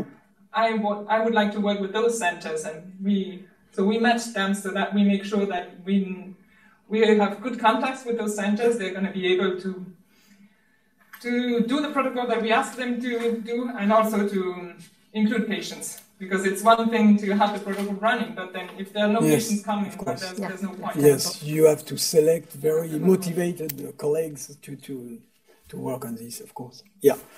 And um, okay, for this part. And for the second part uh, on brain function with stroke, um, if I understood that the, the, the Pixel tool was not good for, for the chronic Yeah, stroke lesion well, segmentation, yeah? Insist on it, but it was No. good. No, it was it was trained for the restore study. This is a research study. We had uh, heterogeneous clinical data Yeah, with uh, like good and bad quality, uh, no 3D sequences. Mm. So and and we've had a lot of discussions, but that was a few years ago. So Yeah, maybe yeah, like you know deep learning has improved a lot in the last year. So maybe it Mhm. would work now. yeah, But but then well just to have your feedback. no, it was not working. Okay. It wasn't working. Long But- story but- short. but, um, Francesca is on it, and I'm confident that she will And- get better results. And uh, on this application on, on stroke, have you uh, tried to uh, uh, quantify um, the plasticity of the brain in terms of uh, anatomical and functional uh, plasticity with your uh, your uh, program of uh, stimulation? Uh, the, the you know the effect of the stimulation on the connectivity. no, no. We, there was no resting state there. There was only the BOLD, and we have a, a very few subjects. Yeah. So my, I, I don't know how how worth it would be to continue and dig into this data. Like I would have liked to have an event-related protocol to look Yes. at the Yeah. hemodynamic response and like individual response. Yes, and it's important for this pathology because Yes, this can be really modified. Yeah. And if you use a canonical uh, form, it's maybe not a good idea. Uh, we, we- looked at the normalization, doing it with and without the mask, and it was not changing much. So Okay. that's one, one thing. But the, the HRF, since we have a block design, Yes, it was not possible to estimate the No. individual uh, No. No. hemodynamic response.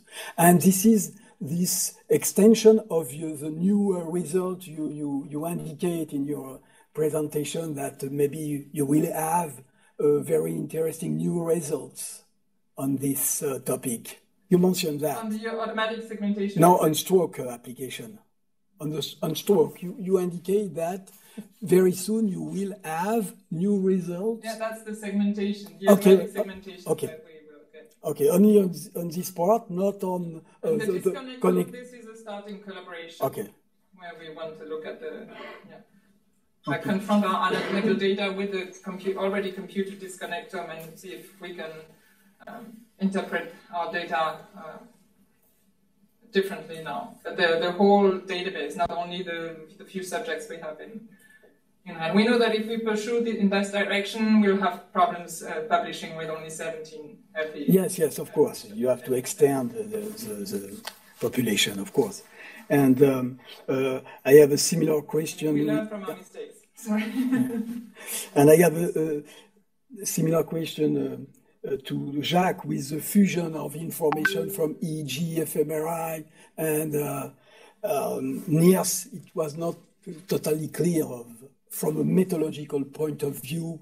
Uh, if you constrain, for example, the uh, source research for EEG with, FMR, with MRI, MRI, and so on, it was not totally. Uh, We, we're not doing any source reconstruction now. We have, uh, um, well, we are working with the, you know, the lab next door that is specialized Okay. in EEG, and they want to use our diffusion and anatomical data to constrain, constrain the resource Yeah. reconstruction, the reconstruction that they will be doing that. The, the kind of thing that we are looking at, um, referring to it, is not self reconstruction. We're looking at okay. temporal dynamics, power, uh, power analysis, and we're not there yet. That's but there are things that can be done. There Yes, of course. But um, I mean, um, Pierre and Claire could talk about that more because they are uh, investing uh, this field to um, try and predict uh, fMRI signal from EEG signal or the inverse and see if you can do what we do work together and see if we can do the one without the other uh, based on what we've learned. That's an idea. And Okay. And on the uh, third part about um, sharing, uh, data sharing, uh, of course, it's it's great you know, the work you have done with colleagues with the REMI network, and uh, we greatly support it financially with FLI, huh? And we defend this network. It's very nice. And but about your open brain consent, do you know how many people uh, uh, follow it or use it or have feedback with you to discuss this at the international level uh, from your paper? Um, there's no? a GitHub page where yes. people comment and they provide also suggestions because it's only a paragraph that yeah, we yeah. suggested, but you need a whole document around it, right? And that's something that we need to continue working on with the other end. Yeah, we, we need to continue pushing for it, MRI, EAT, and EEG data. And so this is really like a staff exchange program for now. We've uh, looked into the literature in those tasks where we were asking the patients to do like the um, spatial navigation, like playing tennis or move, mm-hmm. doing something in the kitchen. Mm-hmm. We've done that on the volunteer and we have activations, but doing that in patients uh, is another issue. We've tried on one patient and he was so like uncompliant that it was uh, difficult to to get something from there. So it's it's a really like starting. Okay. Yeah. No. Maybe we can talk about it. Yes, because we we are working on uh, on this topic with the intensive care unit at mm-hmm. Just Sugar, mm-hmm. and to have specific connectivity, functional mm-hmm. connectivity graph mm-hmm. in several type of uh, types of coma to be able to. Uh, uh, we took part in the coma score study. Yes. We were not investigate principal investigators okay. there, but we, we took part in that study, and I think we have we have the we have the second site, including patients in the study, and we did uh, resting state. Mm-hmm. And Yoann Launey, who's the the in, intensive care specialist, is uh, intending to look at the resting state data together with Julie, who's uh, specialized in like uh, functional connectivity analysis and, and, graph approaches. Yeah. And uh, to, to look at that. So that's a perspective. It's, okay. It's too early to. Yeah, yeah, yeah, but it, no, okay. Uh, I guess I have um, no more uh, no more questions, and so congratulations, and maybe we could uh, in the future collaborate on this topic, trauma, and on, also on fair data, because it's another topic. But we already Yes, but we, we will continue. we have a meeting tomorrow. yes, yes. Thank you very much. So, Elise, we are almost at the end of uh, your presentation on the discussion on your habilitation à diriger la recherche. Um, you did a very clear presentation. Uh, we were impressed by all the domain you discussed quite accurately. Um, but I would like to emphasize one point that is your quality, your human quality. And uh, as a scientist, you might have the, will to concentrate on the science of the own concept uh, to better understand uh, how it's work. Uh, but what you accepted is to apply uh, your science in the field, in other field, in the field of F, in the field of diseases, to understand diseases, and especially neurological diseases. And that's a very challenging uh, uh, and uh, you did very well. I remember quite well 10, 12 years ago, I don't remember exactly at which time. But just at the time Ponnada uh, came a few months in, in Rennes and uh, convinced uh, the neurologists, uh, neurologist expert in MS, that spinal cord MRI was was yes, it was a time to look at spinal cord MRI. You, you should think about that. Uh, MS, uh, most of us, we know MS because of the ambulatory difficulty, because of the wheelchair. Uh, that is the image that people uh, have in the mind uh, when they think about uh, um, multiple sclerosis. But at that time, uh, we we didn't use, we, we have no access to spinal cord MRI. It was very challenging to think that we should have um, this capability uh, of uh, looking at the spinal cord. And Ponnada helped us to convince that it was the time to do so. And you, you, I remember you were very enthusiastic, and we create a small group of thinking to, to, to, to write a program. And your contribution was very important, uh, giving uh, confidence that is, uh, we, we, Rennes is able to, to do the job. And we succeed. we, we obtain the, the PHRC uh, uh, on spinal cord. Also, we have great difficulty to, to define carefully how many patients we should recruit uh, and so on. I remember the, the reviewer question that uh, uh, it was much easier to, to, to succeed if you were able to do exactly what will be the statistical uh, methodology uh, that you use and that been uh, demonstrated by previous um, previous studies. That was not the situation for the spinal cord MRI. And but you you have this capability of creating bridge between clinician, neuroscientists, radiologists, neuropsychologists, and so on, uh, in order to to uh, to to to to, uh, to define to to get uh, success uh, in um, in in domain that is very difficult to to to understand um, if you have not the, if you do not accept the the, the, the necessity to to have different experts in different domains and you have this capability to facilitate uh, the, the link between all these experts and uh, uh, when you discuss the importance of multi-center um, MRI uh, studies, uh, knowing that it's very difficult, especially for the spinal cord.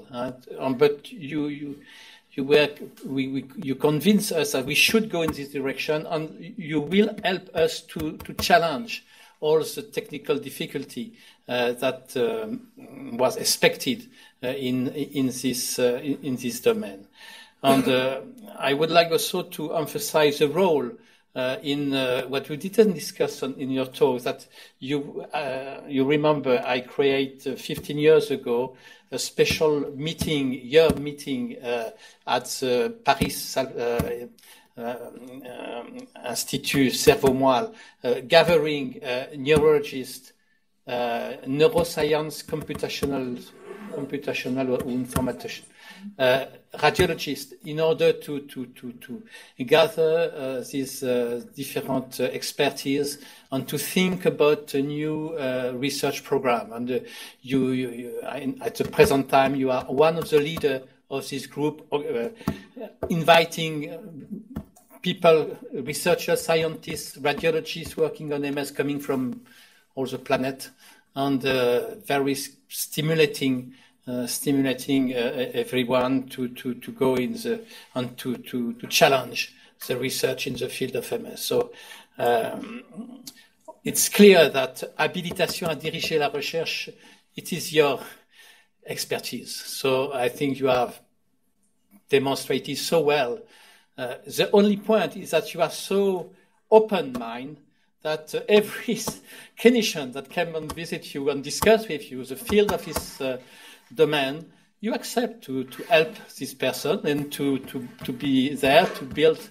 So the day is just 24 hours, not more. So please uh, think about, uh, uh, well, even you remember, uh, you are able to accompany uh, the scientist in some uh, event, some to, to get funding. you, you remember, we, we did so. and so I would like to thank you for what, what you are and what you did in the field that is my field of multiple sclerosis research. Uh, and uh, the RHU Primus, you were part of the discussion with many others, but you, you around you and with you, uh, you create a special atmosphere that facilitates so much the confidence that we are able to work all together and to do our best. So uh, thank you, Elise, and uh, I'm confident that uh, you are just at the beginning of your of your scientist uh, discoveries. Thank you, mm. So I don't know how we have to manage. I think maybe we have to discuss. Just stay in here. Yeah. We stop the recording, and we leave you like. Okay, thank you. And we, and we come back when, Yeah. because let us know when you're, when you're Yeah, done. in, in two hours, I In the meanwhile, we'll be able to set up the drinks and the food. but we won't start without you. Oh, well, I hope so. of course. I just want to be sure I get the speech here. I don't Yeah, right. You don't know yet. Yeah. Don't bias. So you,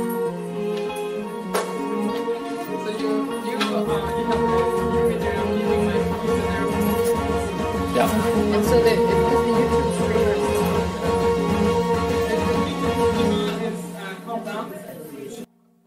rendi conto anche tu? Da anni non vivi più. Perché tu vivi per me, sì. Però io non vivo più.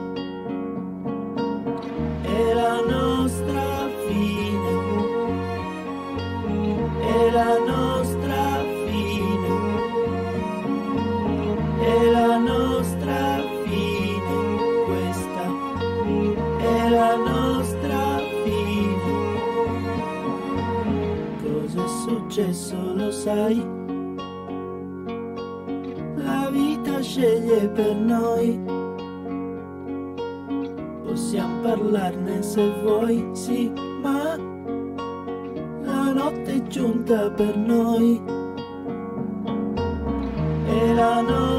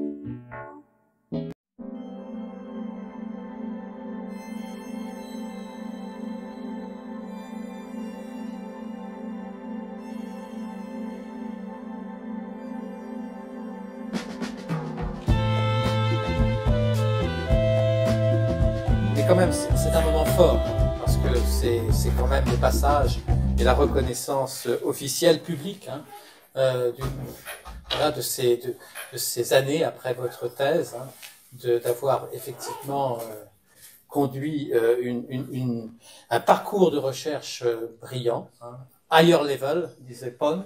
Et puis il y a un autre qui est, c'est Isabelle qui a dit inspiring, vous, nous inspirez, hein, vous, êtes une facilitatrice, vous êtes une maïotique de la recherche, voilà. Donc vraiment, il fallait absolument qu'on vous donne aujourd'hui cette distinction et en souhaitant que eh bien, ça vous donne un élan de plus, bien qu'il n'y en ait pas vraiment besoin, il, est là l'élan. Hein, mais il faut qu'il continue. Hein, et on vous souhaite beaucoup, beaucoup de réussite dans, cette carrière euh, qui vous amènera à, à accompagner encore et, et, officielle. Et en espérant que vous ayez, avec ce, ce, cette reconnaissance, euh, et je sais combien c'est important, une, une, autre reconnaissance encore, d'autres reconnaissances encore qui, euh, qui, qui, euh, qui s'ajoutent euh, à celle que vous avez déjà obtenue. On en parlera. Voilà. Félicitations.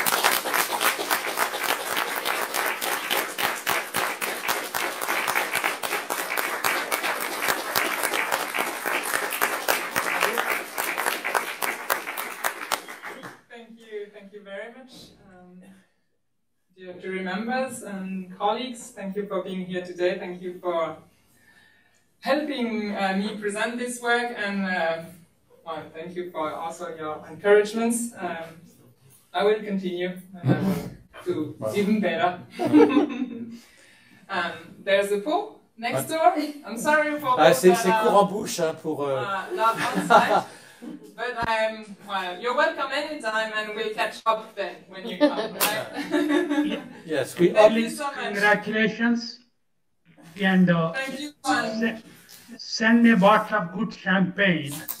champagne, I know you champagne. But there's no champagne there, there's cider.